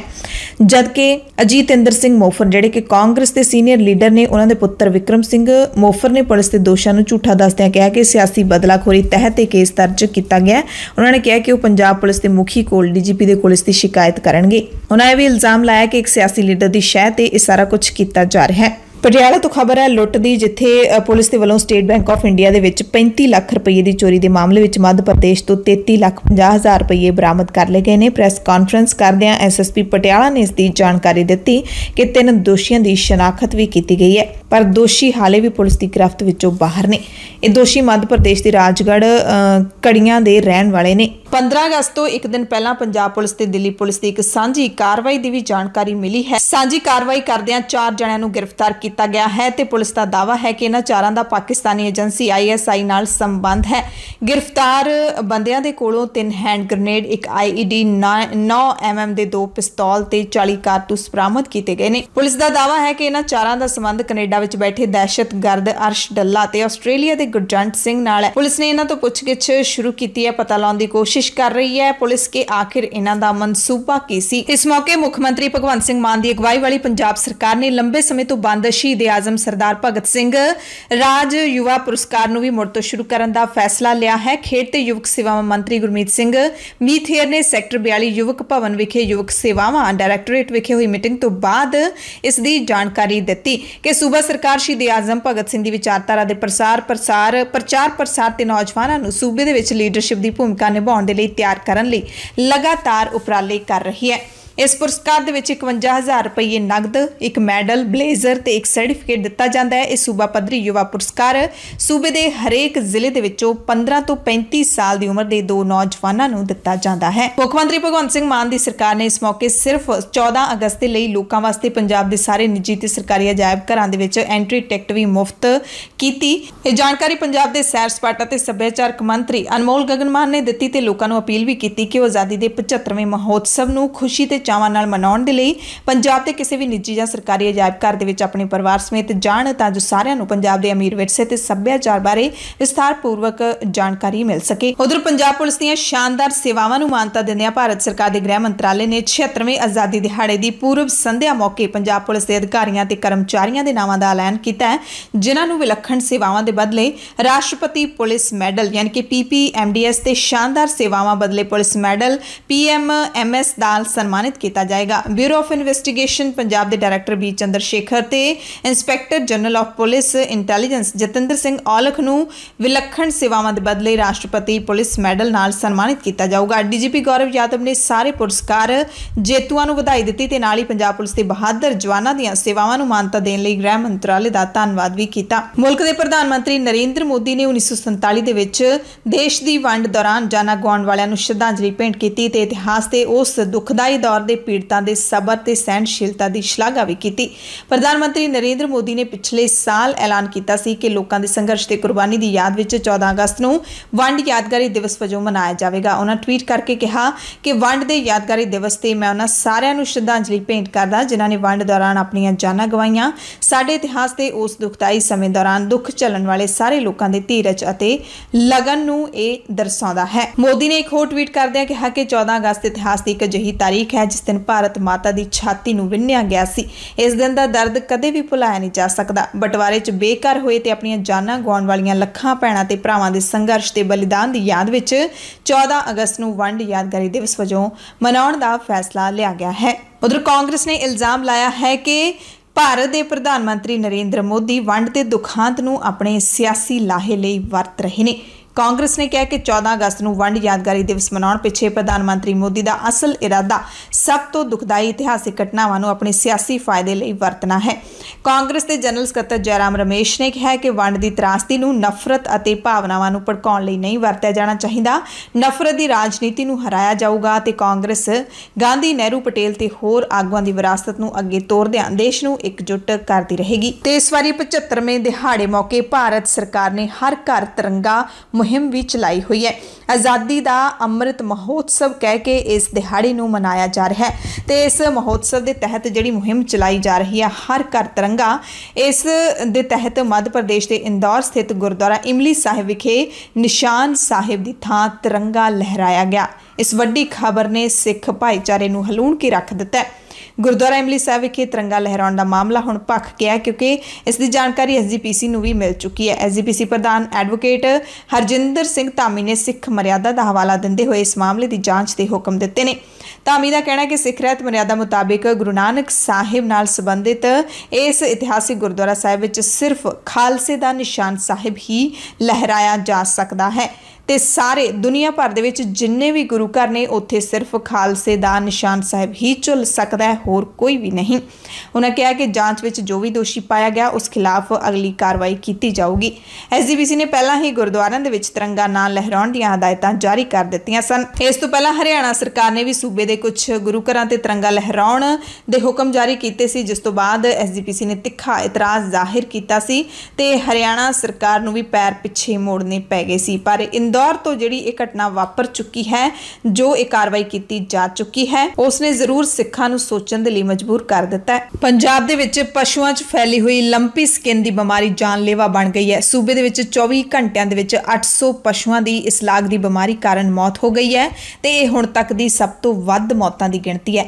ਸੂਬੇ 'ਚ ਹਾਲਾਤ ਇਹ ਬਣ ਗਏ ਨੇ ਕਿ ਮਰੇ ਪਸ਼ੂਆਂ ਨੂੰ ਹੱਡਾਂ ਰੋੜੀ ਦੇ ਵਿੱਚ ਸੁੱਟਣ ਦੇ ਲਈ ਥਾਂ ਛੋਟੀ ਪੈ ਗਈ ਹੈ। ਲੋਕ ਜੀਸੀਬੀ ਮਸ਼ੀਨਾਂ ਨਾਲ ਟੋਏ ਪੁੱਟ-ਪੁੱਟ ਕੇ ਮਰੇ ਪਸ਼ੂ ਦੱਪਣ ਲੱਗੇ ਨੇ। ਨਹਿਰਾਂ ਤੇ ਰਜਬਾਹਿਆਂ ਦੇ ਵਿੱਚ ਮਰੇ ਪਸ਼ੂ ਰੁੜਦੇ ਦਿਖਣ ਲੱਗੇ ਨੇ। ਹਾਲਾਂਕਿ ਸਰਕਾਰ ਦੇ ਵੱਲੋਂ ਲਗਾਤਾਰ ਅਪੀਲ ਕੀਤੀ ਜਾ ਰਹੀ ਹੈ ਕਿ ਪਾਣੀ ਦੇ ਵਿੱਚ ਪਸ਼ੂਆਂ ਨੂੰ ਨਾ ਸੁੱਟਿਆ ਜਾਵੇ ਅਤੇ ਪ੍ਰਸ਼ਾਸਨ ਨੂੰ ਜਾਣਕਾਰੀ ਦਿੱਤੀ ਜਾਵੇ। ਪਰ ਫਿਰ ਵੀ ਪੂਰਾ ਜਿਹੜਾ ਅਸਰ ਹੈ, ਇਸ ਅਪੀਲ ਦਾ ਨਹੀਂ ਦਿਖਾਈ ਦੇ ਰਿਹਾ। ਪੰਜਾਬ ਦੇ ਵਿੱਚ ਰੋਜ਼ਾਨਾ ਔਸਤਨ 32 ਪਸ਼ੂ ਮਰ ਰਹੇ ਨੇ। ਵੀਰਵਾਰ ਨੂੰ 385 ਪਸ਼ੂਆਂ ਦੀ ਮੌਤ ਹੋਈ ਸੀ। ਹਾਲਾਂਕਿ ਨਵੇਂ ਸੰਕਰਮਿਤ ਮਾਮਲਿਆਂ ਦੇ ਵਿੱਚ ਨਿਸ਼ਚਿਤ ਤੌਰ ਤੇ ਕਮੀ ਆਈ ਹੈ। 11 ਅਗਸਤ ਨੂੰ 5185 ਨਵੇਂ ਮਾਮਲੇ ਸਾਹਮਣੇ ਆਏ ਸੀ, ਜਦਕਿ ਸ਼ੁੱਕਰਵਾਰ ਨੂੰ 4946 ਮਾਮਲੇ ਸਾਹਮਣੇ ਆਏ ਨੇ। ਲੰਬੀ ਬਿਮਾਰੀ ਦੇ ਨਾਲ ਜਿੱਥੇ ਹਾਲਾਤ ਚਿੰਤਾਜਨਕ ਹੁੰਦੇ ਜਾ ਰਹੇ ਨੇ, ਉੱਥੇ ਵਿਭਾਗ ਪਸ਼ੂਆਂ ਦੇ ਸੈਂਪਲ ਲੈਣ ਦੇ ਵਿੱਚ ਵੀ ਪਛੜ ਰਿਹਾ ਹੈ। ਸਿਰਫ 524 ਸੈਂਪਲ ਹੀ ਜਾਂਚ ਲਈ ਭੋਪਾਲ ਭੇਜੇ ਗਏ ਨੇ। ਵਿਭਾਗ ਨੇ ਪਸ਼ੂਆਂ ਦੇ ਵਿੱਚ ਲੰਪੀ ਦੇ ਲੱਛਣਾਂ ਨੂੰ ਦੇਖਦਿਆਂ ਹੀ ਹੁਣ ਉਹਨਾਂ ਨੂੰ ਸੰਕਰਮਿਤ ਮੰਨਣਾ ਸ਼ੁਰੂ ਕਰ ਦਿੱਤਾ ਹੈ। ਯਾਨੀ ਕਿ ਹੁਣ ਪਸ਼ੂਆਂ ਦੇ ਸੈਂਪਲ ਲੈ ਕੇ ਲੈਬ ਨਹੀਂ ਭੇਜੇ ਜਾਣਗੇ। ਹੁਣ ਵਿਭਾਗ ਲੱਛਣਾਂ ਨੂੰ ਦੇਖ ਕੇ ਹੀ ਉਹਨਾਂ ਦੇ ਅੰਦਰ ਬਿਮਾਰੀ ਦੀ ਪੁਸ਼ਟੀ ਕਰ ਰਿਹਾ ਹੈ। ਦੇਸ਼ ਦੀ ਜਨਤਾ ਨੂੰ ਹਰ ਮਹੀਨੇ ਬਿਜਲੀ ਦੀ ਵਧੀ ਹੋਈ ਕੀਮਤ ਦਾ ਝਟਕਾ ਲੱਗ ਸਕਦਾ ਹੈ। ਕਿਉਂਕਿ ਸਰਕਾਰ ਪੈਟਰੋਲ ਤੇ ਡੀਜ਼ਲ ਦੀ ਤਰਜ਼ ਉੱਤੇ ਬਿਜਲੀ ਦੀਆਂ ਦਰਾਂ ਨੂੰ ਵਧਾਉਣ ਦਾ ਫੈਸਲਾ ਕਰ ਰਹੀ ਹੈ। ਫ਼ਰਕ ਸਿਰਫ ਇੰਨਾ ਹੋਊਗਾ ਕਿ ਪੈਟਰੋਲ ਤੇ ਡੀਜ਼ਲ ਦੇ ਭਾਅ ਤਾਂ ਰੋਜ਼ਾਨਾ ਬਦਲ ਜਾਂਦੇ ਨੇ, ਪਰ ਬਿਜਲੀ ਦੀ ਕੀਮਤ ਮਹੀਨੇ ਬਾਅਦ ਬਦਲਿਆ ਕਰੂਗੀ। ਇਹ ਵੱਧ ਵੀ ਸਕਦੀ ਹੈ। ਘਟ ਵੀ ਸਕਦੀ ਹੈ। ਜਦਕਿ ਇਸ ਤੋਂ ਪਹਿਲਾਂ ਸਾਲ ਵਿੱਚ ਇੱਕ ਵਾਰੀ ਬਿਜਲੀ ਦੇ ਭਾਅ ਵਧਦੇ ਸੀ ਜਾਂ ਫਿਰ ਘਟਦੇ ਸੀ। ਬਿਜਲੀ ਦੇ ਉਤਪਾਦਨ ਵਿੱਚ ਵਰਤੇ ਜਾਣ ਵਾਲੇ ਕੋਲੇ ਤੇਲ ਤੇ ਗੈਸ ਦੀਆਂ ਕੀਮਤਾਂ ਦੇ ਆਧਾਰ ਤੇ ਹੁਣ ਬਿਜਲੀ ਦੀ ਦਰ ਤੈਅ ਕੀਤੀ ਜਾਇਆ ਕਰੂਗੀ ਤੇ ਇਹ ਸਾਰਾ ਕੁਝ ਕੇਂਦਰ ਸਰਕਾਰ ਦੇ ਨਵੇਂ ਬਿਜਲੀ ਸੋਧ ਬਿੱਲ 2022 ਦੇ ਵਿੱਚ ਲਿਖਿਆ ਹੋਇਆ ਹੈ, ਕਿਉਂਕਿ ਜੇ ਨਿੱਜੀਕਰਨ ਹੋ ਗਿਆ ਬਿਜਲੀ ਦਾ, ਤਾਂ ਫਿਰ ਇਹ ਹੋਣਾ ਹੀ ਹੋਣਾ ਹੈ। ਤੇ ਇੱਕ ਗੱਲ ਸਾਰਿਆਂ ਨੂੰ ਸਮਝ ਲੈਣੀ ਚਾਹੀਦੀ ਹੈ ਕਿ ਕਿਸੇ ਵੀ ਖੇਤਰ ਦਾ ਜਦੋਂ ਨਿੱਜੀਕਰਨ ਹੁੰਦਾ ਹੈ, ਤਾਂ ਉਹਦਾ ਫਾਇਦਾ ਆਮ ਲੋਕਾਂ ਨੂੰ ਕਦੇ ਵੀ ਨਹੀਂ ਹੁੰਦਾ। ਉਹਦਾ ਫਾਇਦਾ ਹੁੰਦਾ ਵੱਡੇ ਵੱਡੇ ਉਦਯੋਗਪਤੀਆਂ ਨੂੰ ਤੇ ਉਦਯੋਗਪਤੀਆਂ ਦੇ ਰਾਹੀਂ ਫਾਇਦਾ ਸਰਕਾਰਾਂ ਨੂੰ ਹੁੰਦਾ ਸਰਕਾਰ 'ਚ ਬੈਠੇ ਲੀਡਰਾਂ ਨੂੰ ਹੁੰਦਾ ਤੁਸੀਂ ਤਾਂ ਸਿਰਫ ਟੈਕਸ ਭਰਦੇ ਰਹਿ ਜਾਂਦੇ ਹੋ। ਪੰਜਾਬ ਦੇ ਵਿੱਚ ਇੱਕ ਵਿਧਾਇਕ, ਇੱਕ ਪੈਨਸ਼ਨ ਦਾ ਕਾਨੂੰਨ ਲਾਗੂ ਹੋ ਚੁੱਕਿਆ। ਆਮ ਆਦਮੀ ਪਾਰਟੀ ਵੱਲੋਂ ਲਿਆਂਦੇ ਇਸ ਨਿਯਮ ਦੀ ਇਸ ਨਵੇਂ ਕਾਨੂੰਨ ਦੀ ਕਾਫੀ ਸ਼ਲਾਘਾ ਹੋ ਰਹੀ ਹੈ। ਸਰਕਾਰ ਦੇ ਇਸ ਫੈਸਲੇ ਦੇ ਨਾਲ ਕਾਂਗਰਸ, ਸ਼੍ਰੋਮਣੀ ਅਕਾਲੀ ਦਲ ਤੇ ਬੀਜੇਪੀ ਨਾਲ ਸੰਬੰਧਿਤ ਸਾਬਕਾ ਮੁੱਖ ਮੰਤਰੀਆਂ, ਸਾਬਕਾ ਮੰਤਰੀਆਂ ਤੇ ਸਾਬਕਾ ਵਿਧਾਇਕਾਂ ਨੂੰ ਵੱਡਾ ਝਟਕਾ ਲੱਗੂਗਾ। ਇਸ ਦੌਰਾਨ ਸਾਬਕਾ ਗ੍ਰਹਿ ਗ੍ਰਹਿ ਮੰਤਰੀ ਸੁਖਜਿੰਦਰ ਸਿੰਘ ਰੰਧਾਵਾ ਨੇ ਇੱਕ ਵਿਧਾਇਕ, ਇੱਕ ਪੈਨਸ਼ਨ ਤੇ ਆਪਣਾ ਵੱਖਰਾ ਬਿਆਨ ਦਿੱਤਾ ਹੈ। ਹੈ। ਕਾਂਗਰਸ ਦੇ ਮੌਜੂਦਾ ਵਿਧਾਇਕ ਨੇ ਕਿਹਾ ਕਿ ਵਿਧਾਇਕਾਂ ਦੀ ਪੈਨਸ਼ਨ ਤਾਂ ਪੂਰੀ ਬੰਦ ਹੋਣੀ ਚਾਹੀਦੀ ਹੈ। ਪੈਨਸ਼ਨ ਤਾਂ ਕਹਿੰਦੇ ਉਸ ਵਕਤ ਲਾਗੂ ਕੀਤੀ ਗਈ ਸੀ ਜਦੋਂ ਵਿਧਾਇਕਾਂ ਦੇ ਕੋਲ ਵਿੱਤੀ ਸਾਧਨ ਚੰਗੇ ਨਹੀਂ ਹੁੰਦੇ ਸੀ। ਪਰ ਅੱਜ ਤਾਂ ਹਰ ਵਿਧਾਇਕ ਦੇ ਚੰਗੇ ਵਿੱਤੀ ਸਾਧਨ ਨੇ। ਹਰ ਵਿਧਾਇਕ ਅਮੀਰ ਹੈ, ਇਸ ਲਈ ਕਹਿੰਦੇ ਪੈਨਸ਼ਨ ਬੰਦ ਕੀਤੀ ਜਾਣੀ ਚਾਹੀਦੀ ਹੈ। ਤੇ ਪੰਜਾਬ ਸਰਕਾਰ ਦੇ ਵੱਲੋਂ ਲਾਗੂ ਕੀਤੇ ਗਏ ਇੱਕ ਵਿਧਾਇਕ, ਇੱਕ ਪੈਨਸ਼ਨ ਦੇ ਮਸਲੇ ਤੇ ਕਾਂਗਰਸ ਦੇ ਵਿਧਾਇਕ ਸੁਖਪਾਲ ਖਹਿਰਾ ਨੇ ਵੀ ਟਵੀਟ ਕੀਤਾ ਹੈ। ਦਰਅਸਲ ਮਾਨ ਸਰਕਾਰ ਦਾਵਾ ਕਰ ਰਹੀ ਹੈ ਕਿ ਇਸ ਫੈਸਲੇ ਦੇ ਲਾਗੂ ਹੋਣ ਨਾਲ ਸਰਕਾਰੀ ਖਜ਼ਾਨੇ ਨੂੰ ਹਰ ਸਾਲ 19 ਕਰੋੜ ਦਾ ਫਾਇਦਾ ਹੋਊਗਾ। 5 ਸਾਲਾਂ ਵਿੱਚ 100 ਕਰੋੜ ਰੁਪਏ ਸਰਕਾਰੀ ਖਜ਼ਾਨੇ ਦੇ ਬਚਣਗੇ। ਕਾਂਗਰਸ ਦੇ ਲੀਡਰ ਵੀ ਇਸ ਫੈਸਲੇ ਦਾ ਸਵਾਗਤ ਕਰ ਰਹੇ ਨੇ। ਸੁਖਪਾਲ ਸਿੰਘ ਖਹਿਰਾ ਨੇ ਵੀ ਸਵਾਗਤ ਕੀਤਾ ਹੈ, ਪਰ ਨਾਲ ਹੀ ਇਸ਼ਤਿਹਾਰਾਂ ਤੇ ਖਰਚ ਹੋਣ ਵਾਲੇ ਬੇਹਿਸਾਬ ਖਰਚ ਨੂੰ ਲੈ ਕੇ ਸਰਕਾਰ ਨੂੰ ਸਵਾਲ ਵੀ ਪੁੱਛਿਆ ਹੈ। ਸੁਖਪਾਲ ਖਹਿਰਾ ਨੇ ਸੋਸ਼ਲ ਮੀਡੀਆ ਤੇ ਆਰਟੀਆਈ ਦੀ ਕਾਪੀ ਤੇ ਅਖਬਾਰਾਂ ਵਿੱਚ ਇਸ਼ਤਿਹਾਰਾਂ ਦੇ ਰੂਪ 'ਚ ਲੱਗਣ ਵਾਲੀਆਂ ਖਬਰਾਂ ਨੂੰ ਲੈ ਕੇ ਮਾਨ ਸਰਕਾਰ ਨੂੰ ਘੇਰਿਆ। ਟਵਿੱਟਰ ਤੇ ਉਹਨਾਂ ਲਿਖਿਆ ਕਿ ਮੈਂ ਸਿੰਗਲ ਐਮਐਲਏ ਪੈਨਸ਼ਨ ਦਾ ਸਵਾਗਤ ਕਰਦਾ ਜਿਸ ਦੇ ਨਾਲ 19 ਕਰੋੜ ਰੁਪਏ ਸਾਲਾਨਾ ਬਚਾਉਣ ਦਾ ਭਗਵੰਤ ਮਾਨ ਸਰਕਾਰ ਦਾਵਾ ਕਰ ਰਹੀ ਹੈ, ਪਰ ਜਿਸ ਤਰ੍ਹਾਂ ਨਾਲ ਜਨਤਾ ਦਾ ਪੈਸਾ ਸਰਕਾਰ ਇਸ਼ਤਿਹਾਰਾਂ ਤੇ ਖਰਚ ਕਰ ਰਹੀ ਹੈ, ਉਹ ਧੋਖਾ ਹੈ, ਕਿਉਂਕਿ ਪਹਿਲੇ 3 ਮਹੀਨਿਆਂ ਦੇ ਵਿੱਚ ਹੀ 50 ਕਰੋੜ ਰੁਪਏ ਸਰਕਾਰ ਨੇ ਇਸ਼ਤਿਹਾਰਾਂ ਤੇ ਖਰਚ ਕਰ ਦਿੱਤੇ, ਯਾਨੀ ਕਿ ਸਾਲ ਦੇ 200 ਕਰੋੜ ਰੁਪਏ ਇਸ਼ਤਿਹਾਰਾਂ ਤੇ ਖਰਚ ਕੀਤੇ ਜਾਣਗੇ। ਕੀ ਇਹ ਬੁੱਧੀਮਾਨੀ ਹੈ? Baba Farid university of health sciences ਦੇ ਵਾਈਸ ਚਾਂਸਲਰ ਦੇ ਵਜੋਂ ਡਾਕਟਰ ਰਾਜ ਬਹਾਦਰ ਦਾ ਅਸਤੀਫਾ ਪ੍ਰਵਾਨ ਕਰਨ ਤੋਂ ਬਾਅਦ ਪੰਜਾਬ ਸਰਕਾਰ ਨੇ ਡਾਇਰੈਕਟਰ ਮੈਡੀਕਲ ਸਿੱਖਿਆ ਤੇ ਖੋਜ ਪੰਜਾਬ ਡਾਕਟਰ ਅਵਨੀਸ਼ ਕੁਮਾਰ ਨੂੰ ਯੂਨੀਵਰਸਿਟੀ ਦੇ ਵੀਸੀ ਦਾ ਵਾਧੂ ਚਾਰਜ ਸੌਂਪ ਦਿੱਤਾ ਹੈ। ਇਹ ਚਾਰਜ ਵੀਸੀ ਦੀ ਪੱਕੀ ਨਿਯੁਕਤੀ ਹੋਣ ਤੱਕ ਉਹਨਾਂ ਕੋਲ ਹੀ ਰਹੇਗਾ। ਸਿਹਤ ਮੰਤਰੀ ਨਾਲ ਵਿਵਾਦ ਤੋਂ ਬਾਅਦ ਡਾਕਟਰ ਰਾਜ ਬਹਾਦਰ ਨੇ ਅਸਤੀਫਾ ਦਿੱਤਾ ਸੀ। ਕਈ ਦਿਨਾਂ ਬਾਅਦ ਅਸਤੀਫੇ ਨੂੰ ਰਾਜਪਾਲ ਨੇ ਮਨਜ਼ੂਰ ਕਰ ਲਿਆ। ਪਟਿਆਲਾ ਦੀ ਕੇਂਦਰੀ ਜੇਲ੍ਹ ਦੇ ਵਿੱਚ ਕਬੂਤਰਬਾਜ਼ੀ ਦੇ ਦੋਸ਼ ਹੇਠ ਸਜ਼ਾ ਭੁਗਤ ਰਹੇ ਪੰਜਾਬੀ ਗਾਇਕ ਦਲੇਰ ਮਹਿੰਦੀ ਦੀ ਅਚਾਨਕ ਤਬੀਅਤ ਵਿਗੜਨ ਕਰਕੇ ਉਹਨਾਂ ਨੂੰ ਹਸਪਤਾਲ 'ਚ ਦਾਖਲ ਕਰਵਾਇਆ ਗਿਆ। ਸੂਤਰਾਂ ਮੁਤਾਬਿਕ ਇੱਕ ਅੱਖ ਦਾ ਆਪਰੇਸ਼ਨ ਹੋ ਚੁੱਕਿਆ ਹੈ ਤੇ ਦੂਸਰੀ ਅੱਖ ਦਾ ਆਪਰੇਸ਼ਨ ਹੋਣ ਦੀ ਸੰਭਾਵਨਾ ਹੈ। ਸੂਤਰਾਂ ਮੁਤਾਬਕ ਦਲੇਰ ਮਹਿੰਦੀ ਦੀਆਂ ਅੱਖਾਂ ਦਾ ਆਪਰੇਸ਼ਨ ਕੀਤਾ ਜਾ ਸਕਦਾ ਹੈ। ਕਿਉਂਕਿ ਦਲੇਰ ਮਹਿੰਦੀ ਨੇ ਜੇਲ੍ਹ ਡਾਕਟਰ ਕੋਲ ਅੱਖਾਂ 'ਚ ਧੁੰਦਲੇਪਨ ਦੀ ਸ਼ਿਕਾਇਤ ਕੀਤੀ ਸੀ, ਜਿਸ ਬਾਅਦ, ਜਿਸ ਤੋਂ ਬਾਅਦ ਡਾਕਟਰਾਂ ਦਾ ਮੈਡੀਕਲ ਬੋਰਡ ਬਣਾਇਆ ਗਿਆ। ਬੋਰਡ ਦੀ ਸਿਫਾਰਿਸ਼ ਤੇ ਚੱਲਦਿਆਂ ਦਲੇਰ ਮਹਿੰਦੀ ਨੂੰ ਹਸਪਤਾਲ 'ਚ ਦਾਖਲ ਕਰਵਾਇਆ ਗਿਆ। ਪੰਜਾਬ ਪੁਲਿਸ ਨੇ ਹੁਣ ਕੈਨੇਡਾ ਸਥਿਤ ਖਾਲਿਸਤਾਨ ਟਾਈਗਰ ਫੋਰਸ KTF ਦੇ ਮੁਖੀ ਹਰਦੀਪ ਸਿੰਘ ਨਿੱਜਰ ਨੂੰ ਵੀ ਭਾਰਤ ਲਿਆਉਣ ਦੀ ਤਿਆਰੀ ਸ਼ੁਰੂ ਕਰ ਦਿੱਤੀ ਹੈ। ਨੈਸ਼ਨਲ ਇਨਵੈਸਟੀਗੇਸ਼ਨ ਏਜੰਸੀ ਵੱਲੋਂ ਕਾਫੀ ਸਮੇਂ ਤੋਂ ਹਰਦੀਪ ਸਿੰਘ ਨਿੱਜਰ ਲੋੜਿੰਦਾ ਹੈ। NIA ਨੇ ਹਰਦੀਪ ਸਿੰਘ ਨਿੱਜਰ ਨੂੰ ਭਗੌੜਾ ਖਾਲਿਸਤਾਨੀ ਅਤਵਾਦੀ ਕਰਾਰ ਦੇ ਕੇ ਉਸ ਦੀ ਗ੍ਰਿਫਤਾਰੀ ਦੇ ਲਈ 10 ਲੱਖ ਰੁਪਏ ਦਾ ਇਨਾਮ ਰੱਖਿਆ ਸੀ। ਨਿੱਜਰ ਖਿਲਾਫ ਪਿਛਲੇ ਸਾਲ ਪੰਜਾਬ ਦੇ ਜਲੰਧਰ ਸ਼ਹਿਰ ਦੇ ਵਿੱਚ ਇੱਕ ਹਿੰਦੂ ਪੁਜਾਰੀ ਦੇ ਕਤਲ ਦਾ ਇਲਜ਼ਾਮ ਹੈ। ਜਾਣਕਾਰੀ ਮੁਤਾਬਿਕ ਪੰਜਾਬ ਪੁਲਿਸ ਨੇ ਨਿੱਜਰ ਨੂੰ ਭਾਰਤ ਲਿਆਉਣ ਲਈ ਕੈਨੇਡਾ ਸਰਕਾਰ ਨੂੰ ਚਿੱਠੀ ਲਿਖ ਕੇ ਉਸ ਦੀ ਗ੍ਰਿਫਤਾਰੀ ਤੇ ਹਵਾਲਗੀ ਦੀ ਮੰਗ ਕੀਤੀ ਹੈ। ਮੂਲ ਰੂਪ ਤੋਂ ਜਲੰਧਰ ਦੇ ਰਹਿਣ ਵਾਲੇ ਹਰਦੀਪ ਸਿੰਘ ਨਿੱਜਰ ਸਮੇਤ ਉਹਨਾਂ ਦੇ ਤਿੰਨ ਹੋਰ ਸਾਥੀਆਂ ਖਿਲਾਫ ਵੀ ਐਨਆਈਏ ਦੇ ਵੱਲੋਂ ਚਾਰਜਸ਼ੀਟ ਦਾਇਰ ਕੀਤੀ ਗਈ ਹੈ। ਅੰਬਾਲਾ ਤੋਂ ਹਾਦਸੇ ਦੀ ਖਬਰ ਹੈ ਜਿੱਥੇ ਅਣਪਛਾਤੇ ਵਾਹਨ ਦੀ ਲਪੇਟ ਵਿੱਚ ਆਉਣ ਕਾਰਨ ਮੋਟਰਸਾਈਕਲ ਸਵਾਰ ਤਿੰਨ ਦੋਸਤਾਂ ਦੀ ਮੌਕੇ ਤੇ ਹੀ ਮੌਤ ਹੋ ਗਈ। ਸ਼ਨੀਚਰਵਾਰ ਦੇਰ ਰਾਤ ਜੰਡਲੀ ਪੁਲ ਦੇ ਨੇੜੇ ਜੀਟੀ ਰੋਡ ਤੇ ਹਾਦਸੇ 'ਚ ਮਾਰੇ ਗਏ ਦੋ ਨੌਜਵਾਨ ਕੁਆਰੇ ਸਨ, ਜਦਕਿ ਇੱਕ ਅਲੜ ਉਮਰ ਦਾ 11ਵੀਂ ਜਮਾਤ ਦਾ ਵਿਦਿਆਰਥੀ ਸੀ। ਮ੍ਰਿਤਕਾਂ ਦੀ ਪਛਾਣ ਪੰਕਜ ਪੌਲ 26 ਸਾਲ ਵੰਸ਼ 16 ਸਾਲ ਤੇ ਅੰਕਿਤ ਯਾਦਵ 22 ਸਾਲ ਵਜੋਂ ਹੋਈ ਹੈ। ਉਹ ਲਾਲ ਕੁੜਤੀ ਬਾਜ਼ਾਰ ਅੰਬਾਲਾ ਛਾਉਣੀ ਦੇ ਰਹਿਣ ਵਾਲੇ ਸਨ। ਭਾਰਤ ਦੇ ਪ੍ਰਸਿੱਧ ਕਾਮੇਡੀਅਨ ਰਾਜੂ ਸ਼੍ਰੀਵਾਸਤਵ ਦੀ ਹਾਲਤ ਵਿੱਚ ਕੋਈ ਸੁਧਾਰ ਨਾ ਹੋਣ ਦੀ ਖਬਰ ਮਿਲੀ ਹੈ। ਉਹ ਏਮਸ ਦੀ ਇੰਟੈਂਸਿਵ ਕੇਅਰ ਯੂਨਿਟ ਦੇ ਵਿੱਚ ਲਾਈਫ ਸਪੋਰਟ ਤੇ ਹਨ। 58 ਸਾਲਾ ਸਟੈਂਡ ਅਪ ਕਾਮਿਕ ਨੂੰ ਬੁੱਧਵਾਰ ਨੂੰ ਦਿਲ ਦਾ ਦੌਰਾ ਪਿਆ ਸੀ, ਜਿਸ ਤੋਂ ਬਾਅਦ ਉਹਨਾਂ ਨੂੰ all India institute of medical sciences ਯਾਨੀ ਕਿ ਏਮਸ ਦੇ ਵਿੱਚ ਭਰਤੀ ਕਰਵਾਇਆ ਗਿਆ। ਉਸੇ ਦਿਨ ਹੀ ਉਹਨਾਂ ਦੀ ਐਂਜੀਓਪਲਾਸਟੀ ਵੀ ਕੀਤੀ ਗਈ ਤੇ ਇਹ ਕਿਹਾ ਜਾ ਰਿਹਾ ਹੈ ਕਿ ਉਹਨਾਂ ਨੂੰ ਹਾਲੇ ਤੱਕ ਹੋਸ਼ ਨਹੀਂ ਆਇਆ। ਹਾਲਾਂਕਿ ਪਰਿਵਾਰ ਨੇ ਇੱਕ ਦਿਨ ਪਹਿਲਾਂ ਇਹ ਕਿਹਾ ਸੀ ਕਿ ਉਹਨਾਂ ਦੀ ਸਿਹਤ ਨੂੰ ਲੈ ਕੇ ਗਲਤ ਜਾਣਕਾਰੀਆਂ ਫੈਲਾਈਆਂ ਜਾ ਰਹੀਆਂ ਨੇ। ਬਿਲਕੁਲ ਠੀਕ ਠਾਕ ਨੇ, ਉਹਨਾਂ ਦੀ ਸਿਹਤ ਵਿੱਚ ਸੁਧਾਰ ਹੋ ਰਿਹਾ ਹੈ। ਪਰ ਸੂਤਰ ਦੱਸਦੇ ਨੇ ਕਿ ਸ੍ਰੀਵਾਸਤਵ ਦੀ ਹਾਲਤ ਨਾਜ਼ੁਕ ਹੈ, ਕੋਈ ਸੁਧਾਰ ਨਹੀਂ ਹੋ ਰਿਹਾ, ਲਗਾਤਾਰ ਬੇਹੋਸ਼ ਨੇ। ਦਿਲ ਦੇ ਦੌਰੇ ਤੋਂ ਬਾਅਦ ਉਹਨਾਂ ਦੇ ਦਿਮਾਗ ਨੂੰ ਨੁਕਸਾਨ ਪਹੁੰਚਿਆ। ਉਧਰ ਅਮਰੀਕਾ ਦੇ ਨਿਊਯਾਰਕ ਦੇ ਵਿੱਚ ਪ੍ਰਸਿੱਧ ਅੰਗਰੇਜ਼ੀ ਲੇਖਕ ਸਲਮਾਨ ਰਸ਼ਦੀ ਨੂੰ ਹੁਣ ਵੈਂਟੀਲੇਟਰ ਤੋਂ ਲਾ ਲਿਆ ਗਿਆ ਹੈ। ਉਹਨਾਂ ਦੀ ਹਾਲਤ ਵਿੱਚ ਸੁਧਾਰ ਹੋ ਰਿਹਾ ਹੈ। ਗੱਲਬਾਤ ਵੀ ਕਰਨ ਲੱਗੇ ਨੇ। ਦੋ ਦਿਨ ਪਹਿਲਾਂ ਇੱਕ ਸਮਾਗਮ ਦੌਰਾਨ ਨਿਊਯਾਰਕ ਦੇ ਵਿੱਚ ਸਟੇਜ ਤੇ ਉਹਨਾਂ ਨੂੰ ਚਾਕੂ ਮਾਰ ਦਿੱਤਾ ਗਿਆ ਸੀ, ਜਿਸ ਤੋਂ ਬਾਅਦ ਗੰਭੀਰ ਹਾਲਤ ਵਿੱਚ ਹਸਪਤਾਲ 'ਚ ਦਾਖਲ ਕਰਵਾਇਆ ਗਿਆ ਸੀ। ਉਧਰ ਸਲਮਾਨ ਰਸ਼ਦੀ ਤੇ ਹਮਲੇ ਦੀ ਨਿੰਦਾ ਕਰਨ ਵਾਲੀ ਹੈਰੀ ਪੋਟਰ ਲੇਖਕ ਜੇਕੇ ਰੋਲਿੰਗ ਨੂੰ ਹੁਣ ਜਾਨੋਂ ਮਾਰਨ ਦੀ ਧਮਕੀ ਮਿਲੀ ਹੈ। ਰੋਲਿੰਗ ਨੇ ਟਵਿੱਟਰ ਤੇ ਧਮਕੀ ਸੁਨੇਹੇ ਦਾ ਸਕਰੀਨਸ਼ਾਟ ਸਾਂਝਾ ਕੀਤਾ ਹੈ। ਰੋਲਿੰਗ ਨੇ ਰਸ਼ਦੀ ਨੂੰ ਛੁਰਾ ਮਾਰਨ ਦੀ ਘਟਨਾ ਤੇ ਟਵੀਟ ਦੇ ਨਾਲ ਪ੍ਰਤੀਕਿਰਿਆ ਦਿੱਤੀ ਸੀ ਤੇ ਕਿਹਾ ਸੀ ਕਿ ਮੈਂ ਬਹੁਤ ਮਾਯੂਸ ਹਾਂ, ਉਮੀਦ ਹੈ ਕਿ ਨਾਵਲਕਾਰ ਠੀਕ ਹੋ ਜਾਣਗੇ। ਜਵਾਬ ਦੇ ਵਿੱਚ ਇੱਕ ਯੂਜ਼ਰ ਨੇ ਲਿਖਿਆ, ਚਿੰਤਾ ਨਾ ਕਰ, ਅਗਲਾ ਨੰਬਰ ਤੇਰਾ ਹੈ। ਆਰਬੀਆਈ ਨੇ ਜਿੱਥੇ ਰੈਪੋ ਰੇਟ ਵਧਾ ਕੇ ਹੋਮ ਲੋਨ ਲੈਣ ਵਾਲੇ ਗਾਹਕਾਂ ਨੂੰ ਝਟਕਾ ਦਿੱਤਾ ਸੀ, ਉੱਥੇ ਹੁਣ ਐਸਬੀਆਈ ਨੇ ਐਫਡੀ ਤੇ ਵਿਆਜ ਦਰ ਵਧਾ ਕੇ ਬਚਤ ਕਰਨ ਵਾਲੇ ਗਾਹਕਾਂ ਨੂੰ ਵੱਡੀ ਖੁਸ਼ਖਬਰੀ ਦਿੱਤੀ ਹੈ। ਐਸਬੀਆਈ ਨੇ ਐਸਬੀਆਈ ਦੇ 44 ਕਰੋੜ ਖਾਤਾ ਧਾਰਕ ਨੇ ਪੂਰੇ ਭਾਰਤ ਦੇ ਵਿੱਚ ਤੇ ਜਿਹੜੇ ਗਾਹਕਾਂ ਨੇ ਐਫਡੀ ਕਰਵਾਈ ਹੈ, ਉਹਨਾਂ ਨੂੰ ਹੁਣ ਵੱਧ ਰੇਟ ਤੇ ਵਿਆਜ ਮਿਲੇਗਾ। ਬੈਂਕ ਦੀਆਂ ਨਵੀਆਂ ਦਰਾਂ 13 ਅਗਸਤ 2022 ਤੋਂ ਲਾਗੂ ਹੋ ਗਈਆਂ ਨੇ। ਵਿਆਜ ਦਰਾਂ 2 ਕਰੋੜ ਤੋਂ ਘੱਟ ਦੀ ਐਫਡੀ ਤੇ ਲਾਗੂ ਹੋਣਗੀਆਂ। ਬੈਂਕ ਨੇ ਵੱਖ-ਵੱਖ ਸਮੇਂ ਦੀਆਂ ਐਫਡੀਜ਼ ਤੇ 15 ਅੰਕਾਂ ਦਾ ਵਾਧਾ ਕੀਤਾ ਹੈ। ਐਫਡੀ ਤੇ ਸਭ ਤੋਂ ਵੱਧ ਵਿਆਜ ਸੀਨੀਅਰ ਸਿਟੀਜ਼ਨਸ ਨੂੰ ਮਿਲੇਗਾ। 5 ਤੋਂ 10 ਸਾਲ ਤੇ ਉਹਨਾਂ ਨੂੰ ਪੌਣੇ 7% ਦਾ ਵਿਆਜ ਮਿਲੇਗਾ। ਭਾਰਤੀ ਸ਼ੇਅਰ ਬਾਜ਼ਾਰ ਦੇ ਕਿੰਗ ਰਾਕੇਸ਼ ਚੁੰਚੁਨਵਾਲਾ ਦੀ ਮੌਤ ਹੋ ਗਈ ਹੈ। ਐਤਵਾਰ 14 ਅਗਸਤ ਨੂੰ ਉਹਨਾਂ ਨੇ ਮੁੰਬਈ ਦੇ ਬਰੀਜ਼ ਕੈਂਡੀ ਹਸਪਤਾਲ ਦੇ ਵਿੱਚ ਅੰਤਿਮ ਸਾਹ ਲਏ। ਪਿਛਲੇ ਕੁਝ ਸਮੇਂ ਤੋਂ ਝੁੰਝੁਨਵਾਲਾ ਬਿਮਾਰ ਚੱਲ ਰਹੇ ਸਨ। ਉਹਨਾਂ ਨੇ ਬਹੁਤ ਥੋੜੇ ਪੈਸਿਆਂ ਨਾਲ ਸ਼ੇਅਰ ਬਾਜ਼ਾਰ ਵਿੱਚ ਕਦਮ ਰੱਖਿਆ ਸੀ, ਪਰ ਫਿਰ ਇੰਨੀਆਂ ਕੁ ਬੁਲੰਦੀਆਂ ਤੇ ਪਹੁੰਚੇ ਕਿ ਉਹਨਾਂ ਦੇ ਇੱਕ ਕਦਮ ਦੇ ਨਾਲ ਸ਼ੇਅਰ ਬਾਜ਼ਾਰ ਦੇ ਵਿੱਚ ਹਲਚਲ ਮਚ ਜਾਂਦੀ ਸੀ। ਕੁਝ ਦਿਨ ਪਹਿਲਾਂ ਹੀ ਰਾਕੇਸ਼ ਝੁੰਝੁਨਵਾਲਾ ਨੇ ਆਪਣੀ ਨਵੀਂ 에ਅਰਲਾਈਨਸ ਸ਼ੁਰੂ ਕੀਤੀ ਸੀ। ਅਕਾਸਾ 에ਅਰਲਾਈਨਸ ਅਖੀਰਲੀ ਵਾਰ ਉਹਨਾਂ ਨੂੰ ਇਸੇ ਇਵੈਂਟ ਤੇ ਵੇਖਿਆ ਗਿਆ ਸੀ। ਪਿਛਲੇ ਸਮੇਂ ਦੇ ਵਿੱਚ ਪ੍ਰਧਾਨ ਮੰਤਰੀ ਨਰਿੰਦਰ ਮੋਦੀ ਦੀ ਰਾਕੇਸ਼ ਰਾਕੇਸ਼ ਝੁੰਝੁਨਵਾਲਾ ਦੇ ਨਾਲ ਮੁਲਾਕਾਤ ਵੀ ਕਾਫੀ ਸੁਰਖੀਆਂ ਦੇ ਵਿੱਚ ਰਹੀ ਸੀ। ਅਮਰੀਕਾ ਦੀ ਫੋਬ ਮੈਗਜ਼ੀਨ ਨੇ ਉਹਨਾਂ ਦੀ ਆਮਦਨ ਦਾ ਖੁਲਾਸਾ ਕੀਤਾ ਸੀ। ਮੈਗਜ਼ੀਨ ਦੀ ਜਾਣਕਾਰੀ ਦੇ ਮੁਤਾਬਿਕ ਝੁੰਝੁਨਵਾਲਾ ਤਕਰੀਬਨ 5.8 ਬਿਲੀਅਨ, ਯਾਨੀ ਕਿ 46300 ਕਰੋੜ ਦੇ ਮਾਲਕ ਸਨ। ਉਹ ਸ਼ੇਅਰ ਬਾਜ਼ਾਰ ਦੇ ਵਿੱਚ ਉਸ ਵਕਤ ਦਾਖਲ ਹੋਏ ਸਨ, ਜਦੋਂ ਸੈਂਸੈਕਸ ਸਿਰਫ 150 ਤੇ ਸੀ, ਜੋ ਕਿ 2022 ਦੇ ਵਿੱਚ 60000 ਤੱਕ ਪਹੁੰਚ ਗਿਆ। ਉਹਨਾਂ ਦਾ ਸਭ ਤੋਂ ਸਫਲ ਨਿਵੇਸ਼ ਟਾਈਟਨ ਨੂੰ ਮੰਨਿਆ ਜਾਂਦਾ ਹੈ। ਚੁੰਚਨਵਾਲਾ ਨੇ 2002 ਦੇ ਵਿੱਚ ਟਾਈਟਨ ਦਾ ਤਕਰੀਬਨ 5% ਹਿੱਸਾ 3 ਰੁਪਏ ਪ੍ਰਤੀ ਸ਼ੇਅਰ ਦੇ ਹਿਸਾਬ ਨਾਲ ਖਰੀਦਿਆ ਸੀ, ਜਿਸ ਦੀ ਵੈਲਿਊ 11000 ਕਰੋੜ ਤੋਂ ਵੱਧ ਗਈ। ਪੰਜਾਬ ਦੀਆਂ ਖਾਸ ਖਬਰਾਂ ਦੇ ਖਾਸ ਬੁਲੇਟਿਨ ਦੇ ਵਿੱਚ ਤੁਹਾਡੇ ਸਭ ਤੋਂ ਹੁਣ ਇਜਾਜ਼ਤ ਚਾਹੁੰਦੇ ਹਾਂ। ਤੁਸੀਂ ਸਾਰੇ ਆਪਣਾ ਧਿਆਨ ਰੱਖਿਓ। ਦਾ ਖਾਲਸ ਟੀਵੀ ਤੇ ਖਾਸ ਰਿਪੋਰਟਾਂ ਸਾਡੀਆਂ ਲਗਾਤਾਰ ਤੁਸੀਂ ਅੱਜ ਦੇਖ ਸਕਦੇ ਹੋ। ਸ਼ਾਮ ਦੇ ਐਮਰਜੈਂਸੀ ਬੁਲੇਟਿਨ ਦੇ ਵਿੱਚ ਫੇਰ ਮਿਲਾਂਗੇ। ਧੰਨਵਾਦ।